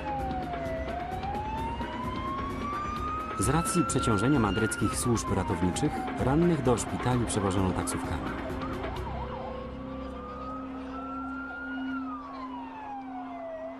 Nilsa Robo była w drodze do szpitala. Miała krwotok wewnętrzny, pękniętą śledzionę, cztery złamane żebra i poranioną głowę. Położyli mnie na noszach i karetka ruszyła. Czułam straszny ból. Myślałam, musimy dojechać, musimy dojechać. Wydawało mi się, że jazda trwała całe wieki. Nie pytałam, czy jest ze mną dobrze, czy źle. Cały czas martwiłam się o moją córeczkę. W zamachach rannych zostało prawie 2000 osób. Jeszcze nigdy madryckie szpitale nie musiały przyjąć takiej liczby rannych. Szpitale przyjmują pacjentów z poważnymi obrażeniami, ofiary wypadków drogowych, ludzi, którzy wypadli z budynków. y Są to llamativas, poważne przypadki, lecz na szczęście jest ich średnio dwa dziennie. A y tu w ciągu półtorej 230 godziny przywieziono pacientes 230 con patologías pacjentów, w większości z poważnymi obrażeniami. Czuliśmy się jak w szpitalu polowym, bo większość obrażeń była...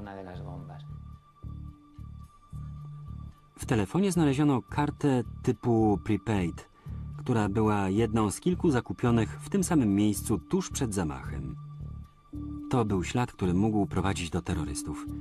Hiszpańska policja rozpoczęła podsłuch sieci telefonii komórkowej w Madrycie. W pewnym momencie wykryto rozmowę nadchodzącą z jednego z przedmieść stolicy. Na pomoc wezwano jednostkę antyterrorystyczną Hiszpanii. Rząd Hiszpanii nie ukrywał informacji ani nie zatajał dowodów. To bezpodstawne twierdzenie, nic takiego nie miało miejsca. Podawaliśmy informacje, w których prawdziwość wierzyliśmy w tamtym czasie. Nie ukrywaliśmy żadnych informacji. Sporo ludzi nie miało wątpliwości, że rząd przeciąga całe postępowanie, by doczekać do dnia wyborów, do niedzieli. Żeby nie było całkowitej jasności co do tego, kto był odpowiedzialny za dokonanie zamachu.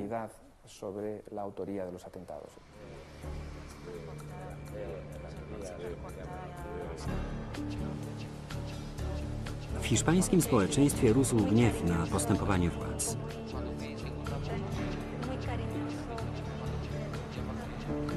W Madrycie rozsyłano SMS-y nawołujące ludzi do protestu.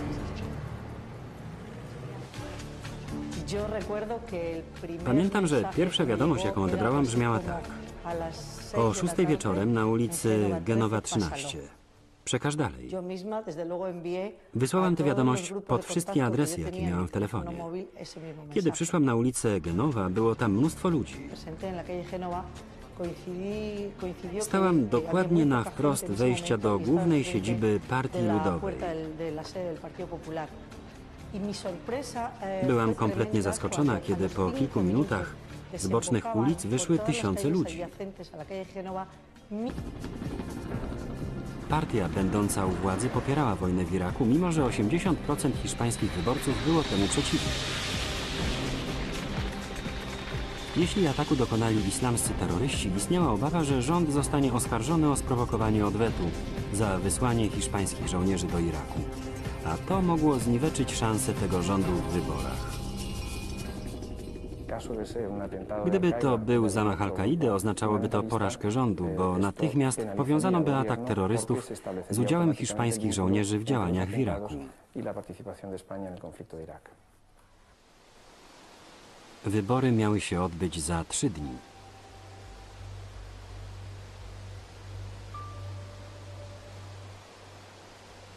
Wczesne popołudnie. W Madrycie zaczęto przewozić ciała zabitych.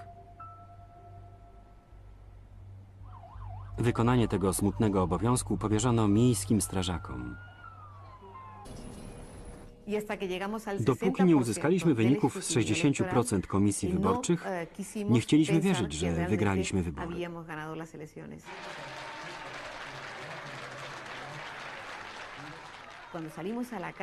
Potem wyszliśmy na ulicę, by podziękować ludziom, którzy świętowali zwycięstwo. Wszyscy wołali, bądźcie z nami.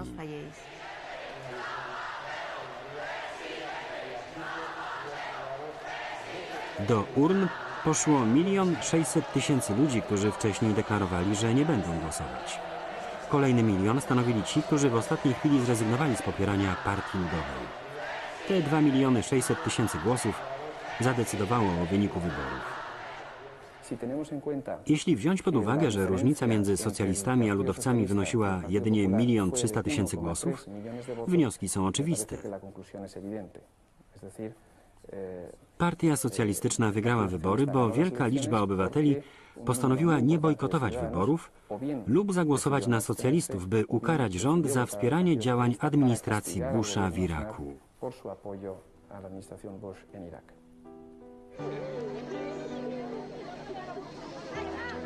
Jedną z pierwszych decyzji nowo powstałego rządu było spełnienie wyborczej obietnicy. Z Iraku wycofani zostali wszyscy hiszpańscy żołnierze. Obwiniałam rząd, a szczególnie premiera Aznara, o to, że wplątał nas w wojnę, która nas nie dotyczyła i której nikt nie chciał. Ludzie w Madrycie zginęli dlatego, że znaleźliśmy się w sytuacji zagrożenia terroryzmem. Oto co dał nam ten rząd. Nigdy im tego nie wybaczę.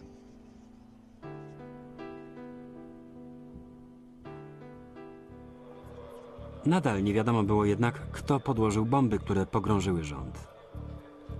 Aż znalazł się ślad. Jedna z bomb nie eksplodowała.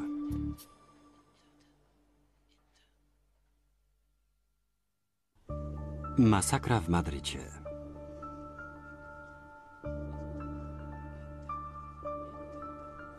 Choć wszyscy byli przekonani, że zamach był dziełem islamskich terrorystów, nikt nie mógł tego udowodnić.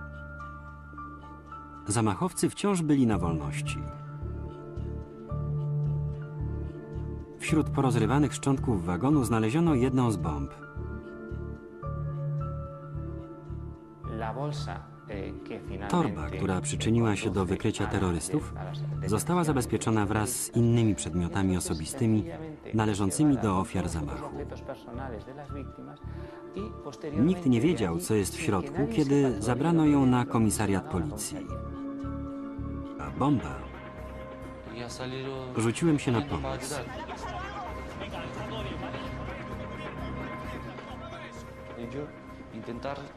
Staraliśmy się wyrywać drzwi, żeby ludzie mogli wyjść z wagonu.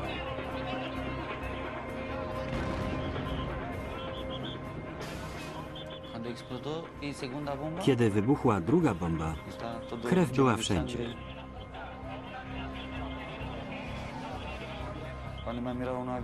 Kiedy spojrzałem na siebie i zobaczyłem, co się stało, zacząłem pytać ludzi, gdzie jest moja ręka, la gente, ¿dónde está mi mano? ¿Dónde está mi gdzie moja stopa. Zacząłem wołać, ja żyję, pomocy.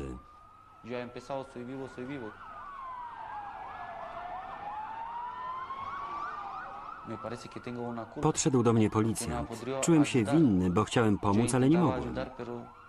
no. Musiałem ratować siebie. salvarme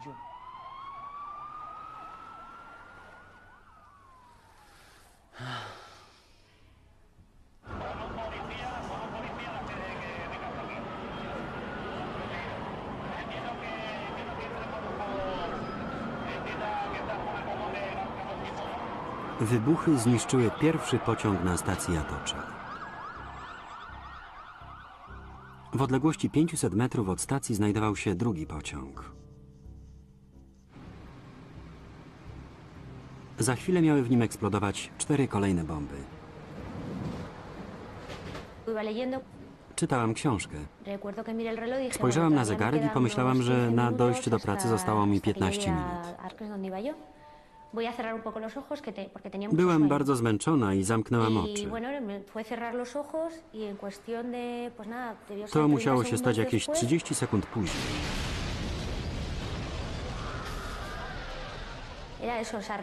Doskonale pamiętam y ten huk. Potem zrobiło się bardzo cicho.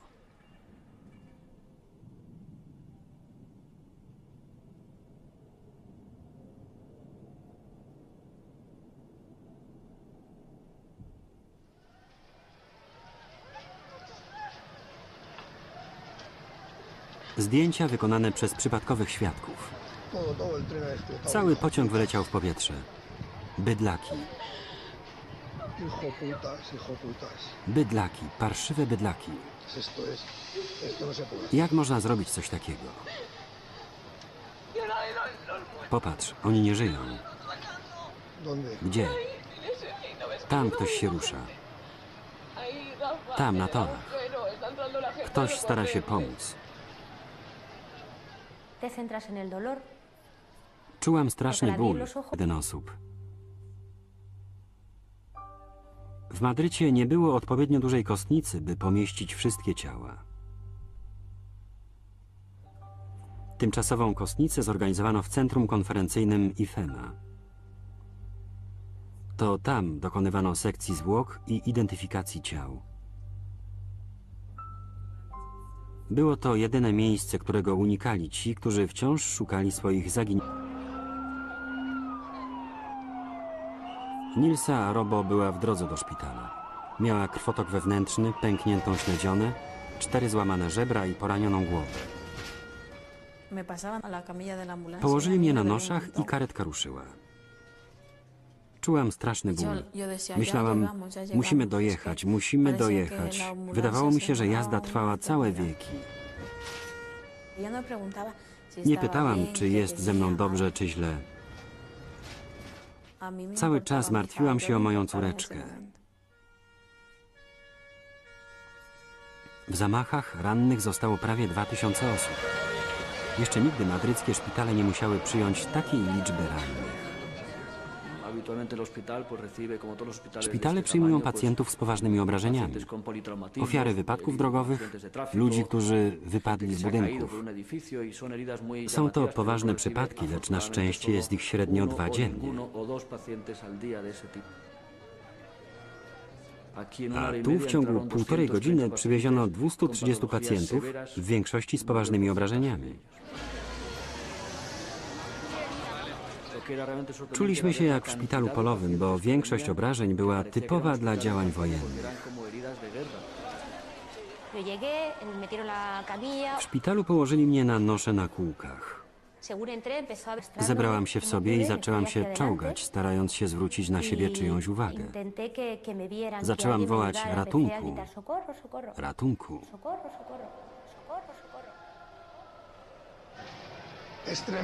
To straszne. Tam umiera jakiś mężczyzna, ale nie pozwala się wynieść. Może stracił żonę albo córkę?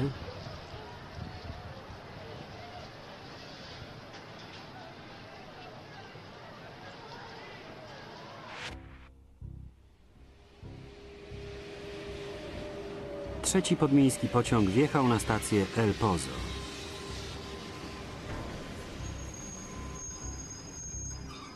Było w nim około 1800 osób. I trzy bomby.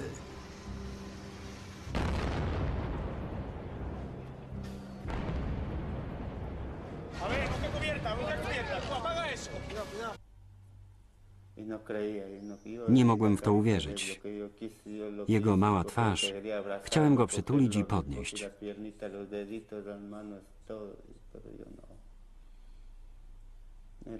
To był koszmar. Zobaczyć tam mojego syna.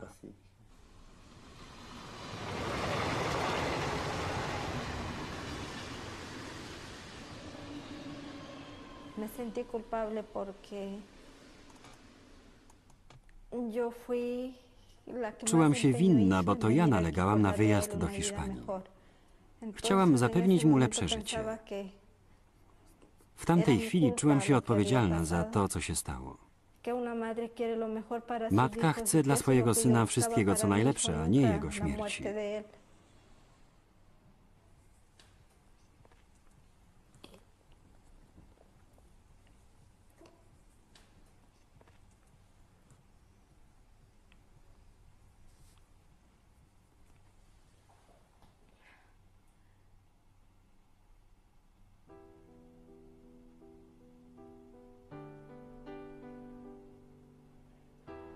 Następnego dnia po zamachu na ulicę wyszło 11 milionów Hiszpanów.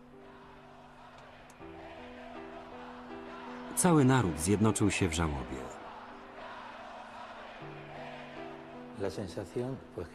Wszyscy czuliśmy to samo.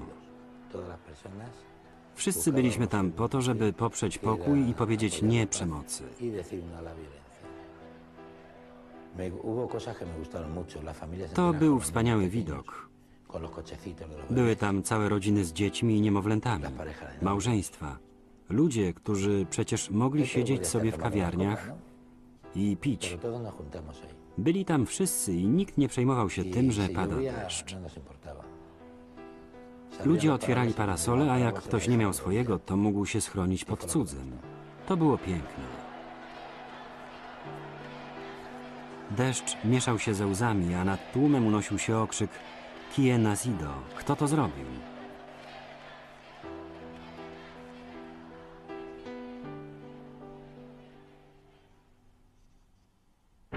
Dzień trzeci. Sobota, 13 marca. Wybory do parlamentu miały odbyć się nazajutrz. Rząd wciąż utrzymywał, że głównym podejrzanym jest baskijska ETA. Jednak zgromadzone dowody coraz wyraźniej wskazywały na islamskich terrorystów. Policja aresztowała pięciu podejrzanych, w tym jednego mającego powiązania z Al-Kaidą. Przyparty do muru rząd zaprzeczył, jakoby ukrywał fakty, by zapewnić sobie zwycięstwo w wyborach. Rząd Hiszpanii nie ukrywał informacji ani nie zatajał dowodów. Żonę albo córkę?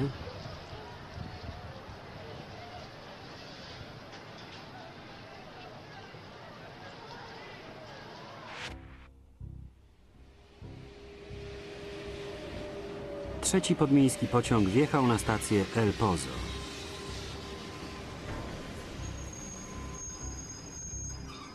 Było w nim około 1800 osób. I trzy bomby.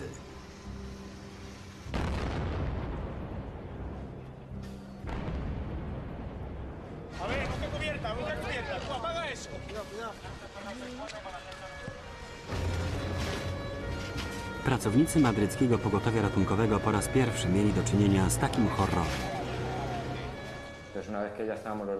Kiedy dotarliśmy na peron, spojrzałem na Iwana i spytałem, co mamy robić.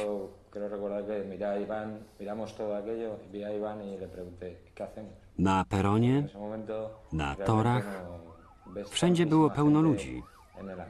Większość z vía. I on wyszedł. Rita i Alberto przyjechali do Hiszpanii 4 lata temu w nadziei, że ich syn będzie miał tu lepsze życie. To było nasze jedyne dziecko. Sądziliśmy, że najlepszym, co możemy mu dać, jest dobre wykształcenie. Długo roztrząsaliśmy pomysł przyjazdu do Hiszpanii, choć znajomość języka była ogromną zaletą. W końcu zdecydowaliśmy się. Obserwowałem, jak mój syn przyzwyczaja się i zaczyna naukę. Było trudno, lecz on się nie poddawał.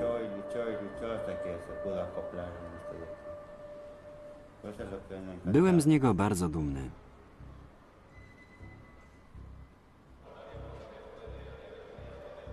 Matka innego jedynaka, Dori Majali, była bardzo podekscytowana, bo jechała właśnie do nowej pracy. Normalnie wsiadałam do pociągu o siódmej, ale ogłosili, że jest opóźniony. Entonces llegué, vi el tren de las 7 que iba con retraso y que estaba parado en la estación. Estaba lleno Kiedy no przyjechał, nie było w nim Y wolnych miejsc. como también está el de las 7.05, Postanowiłam, że pojadę pociągiem o monto el de las 7.05, 7.05, który już wjeżdżał na eh, stację. Były w nim wolne miejsca i siedziałam całą drogę. No Ciągle nie mogłam się przyzwyczaić, bo jeździłam tą trasą dopiero od kilku dni. Wszystko przekonani, że zamach był dziełem islamskich terrorystów, nikt nie mógł tego udowodnić. Zamachowcy wciąż byli na wolności. Wśród porozrywanych szczątków wagonu znaleziono jedną z bomb. Eh, Torba, która przyczyniła się do wykrycia ter... Południe. Trzy i pół godziny po wybuchu pierwszej z bomb natrafiono na trop zamachowców. Na parkingu koło jednej ze stacji znaleziono porzuconą furgonetkę. To, co w niej znaleziono, przeczyło twierdzeniom rządu, jakoby głównym podejrzanym była organizacja baskijskich separatystów ETA.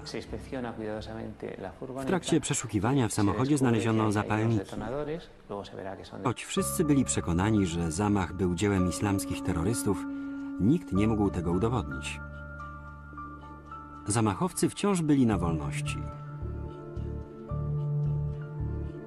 Wśród porozrywanych szczątków wagonu znaleziono jedną z bomb. Eh, Torba, która przyczyniła się do wykrycia terrorystów, została zabezpieczona wraz z innymi przedmiotami osobistymi należącymi do ofiar zamachu. Y Nikt nie wiedział, co jest w środku, kiedy zabrano ją na komisariat policji.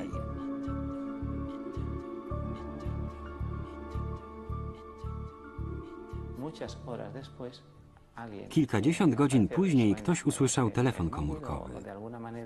Policjant, który otworzył torbę, zobaczył w niej dynamit i zapalnik podłączony do telefonu i zrozumiał, że ma przed sobą bombę, która nie wybuchła. Intacta una de las bombas. W telefonie znaleziono kartę typu prepaid, która była jedną z kilku zakupionych w tym samym miejscu tuż przed zamachem. To był ślad, który mógł prowadzić do terrorystów. Hiszpańska policja rozpoczęła podsłuch sieci telefonii komórkowej w Madrycie. W pewnym momencie wykryto rozmowę nadchodzącą z jednego z przedmieść stolicy. Na pomoc wezwano jednostkę antyterrorystyczną Hiszpanii. Rząd Hiszpanii nie ukrywał informacji ani nie zatajał dowodów. To bezpodstawne twierdzenie, nic takiego nie miało miejsca. Podawaliśmy informacje, w których prawdziwość wierzyliśmy w tamtym czasie. Nie ukrywaliśmy żadnych informacji. Sporo ludzi nie miało wątpliwości, że rząd przeciąga całe postępowanie, by doczekać do dnia wyborów, do niedzieli. Żeby nie było całkowitej jasności co do tego, kto był odpowiedzialny za dokonanie zamachu.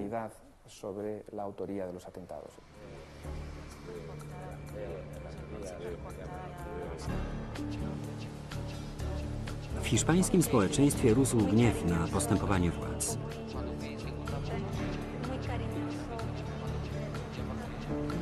W Madrycie rozsyłano SMS-y nawołujące ludzi do protestu.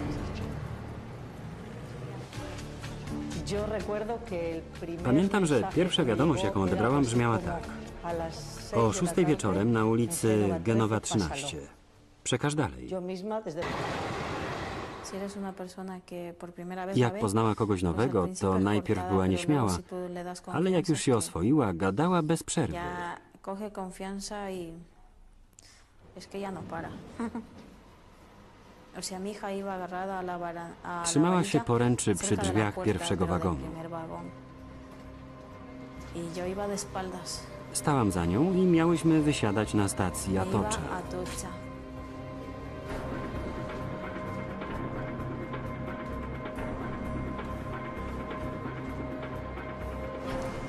Godzina 7.36. Wszystkie cztery pociągi zbliżają się do Atocza, głównego dworca kolejowego w Madrycie. Na półkach na bagaż, na podłodze i między siedzeniami znajdują się bomby. Od koszmaru dzielą Madryt jedynie sekundy.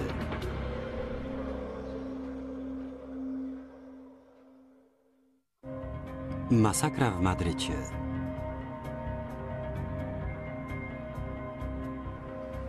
W stronę głównego dworca kolejowego w Madrycie jechały cztery zatłoczone podmiejskie pociągi, w których znajdowało się 12 ukrytych w bagażach bomb. Pierwszy z pociągów wjeżdżał właśnie na stację Atocza. Fochu Valentin jechał właśnie do pracy na budowie. Za chwilę miał stać się świadkiem pierwszego zamachu islamskich terrorystów dokonanego w zachodniej Europie. Pociąg wjechał na Atocza i zatrzymał się. Drzwi się otworzyły i ludzie zaczęli wysiadać.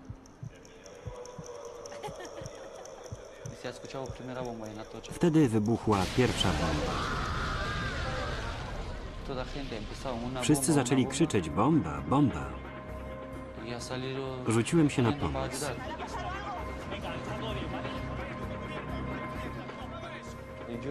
intentar Staraliśmy się wyrywać drzwi, żeby ludzie mogli wyjść z wagonu.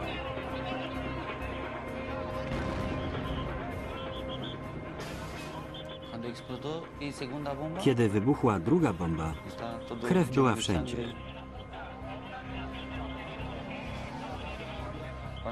no este- Kiedy spojrzałem na siebie i zobaczyłem, co się stało, zacząłem pytać ludzi, gdzie jest moja ręka, gente, ¿dónde está mi mano? ¿Dónde está mi gdzie moja stopa.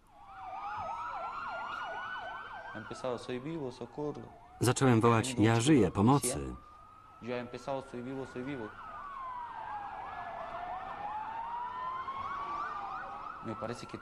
Podszedł do mnie policjant. Czułem się winny, bo chciałem pomóc, ale nie mogłem. Musiałem ratować siebie. Zacząłem wołać, ja żyję, pomocy.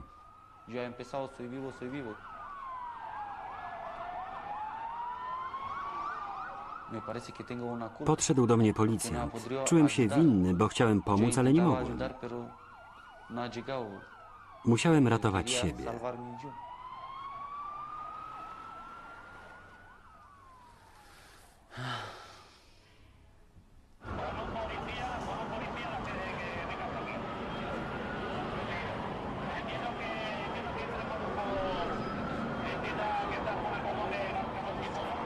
Wybuchy zniszczyły pierwszy pociąg na stacji Atocza. W odległości 500 metrów od stacji znajdował się drugi pociąg. Za chwilę miały w nim eksplodować cztery kolejne bomby. Czytałam książkę. Spojrzałam na zegarek i pomyślałam, że 15 na dojście do pracy zostało mi hasta que 15 llegue minut. Byłam bardzo zmęczona i zamknęłam Y oczy. bueno, me fue cerrar los ojos y en cuestión de, pues nada, debió ser To 30 musiało się stać jakieś después, 30 sekund później.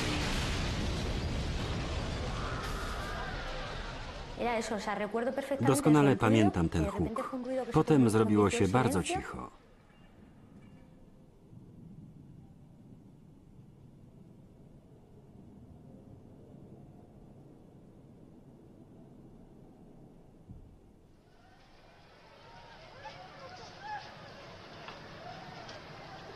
Zdjęcia wykonane przez przypadkowych świadków.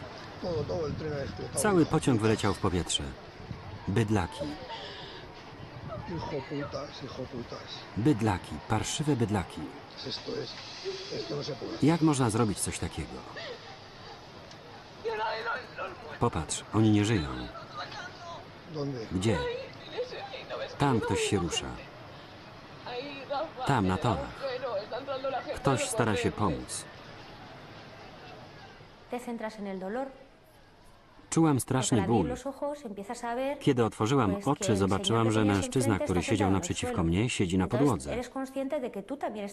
Wtedy zorientowałam się, Y że ja też jestem na podłodze. Tuż przed nim leżał kawałek czyjejś głowy, a za nim widać było wielką wyrwę w ścianie wagonu. Le cogí las piernas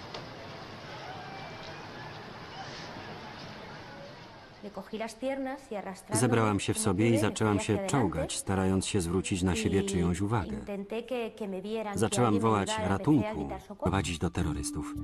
Hiszpańska policja rozpoczęła podsłuch sieci telefonii komórkowej w Madrycie. W pewnym momencie wykryto rozmowę nadchodzącą z jednego z przedmieść stolicy. Na pomoc wezwano jednostkę antyterrorystyczną hiszpańskiej policji. Za trzy dni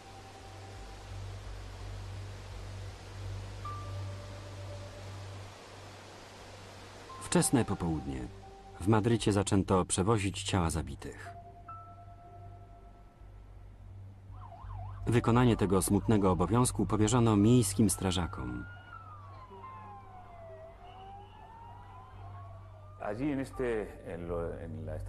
To, co zobaczyłem na El Pozo, eh, było prawdziwym koszmarem. O sea, los restos Ludzkie szczątki porozrzucane por- były po całej stacji. To było potworne. To był peron śmierci.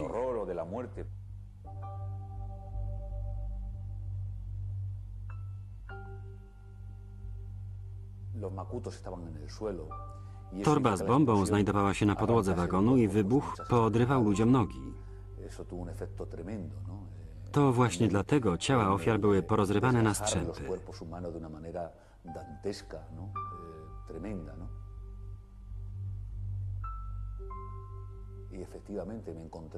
Jedno ciało i szczątki innych znaleźliśmy na dachu stacji.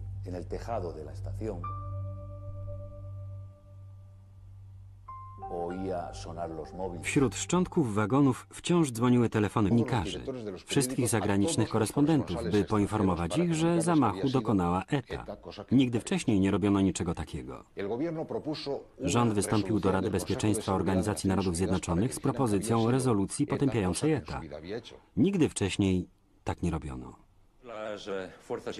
Siły bezpieczeństwa i Ministerstwo Spraw Wewnętrznych nie mają wątpliwości, że za atak odpowiedzialna jest banda terrorystów Zeta. Wszystko to skłania do wniosku, że rząd bardzo nie chciał przyznać, że coraz więcej śladów wskazuje bardziej na Al-Kaidę niż na ETA.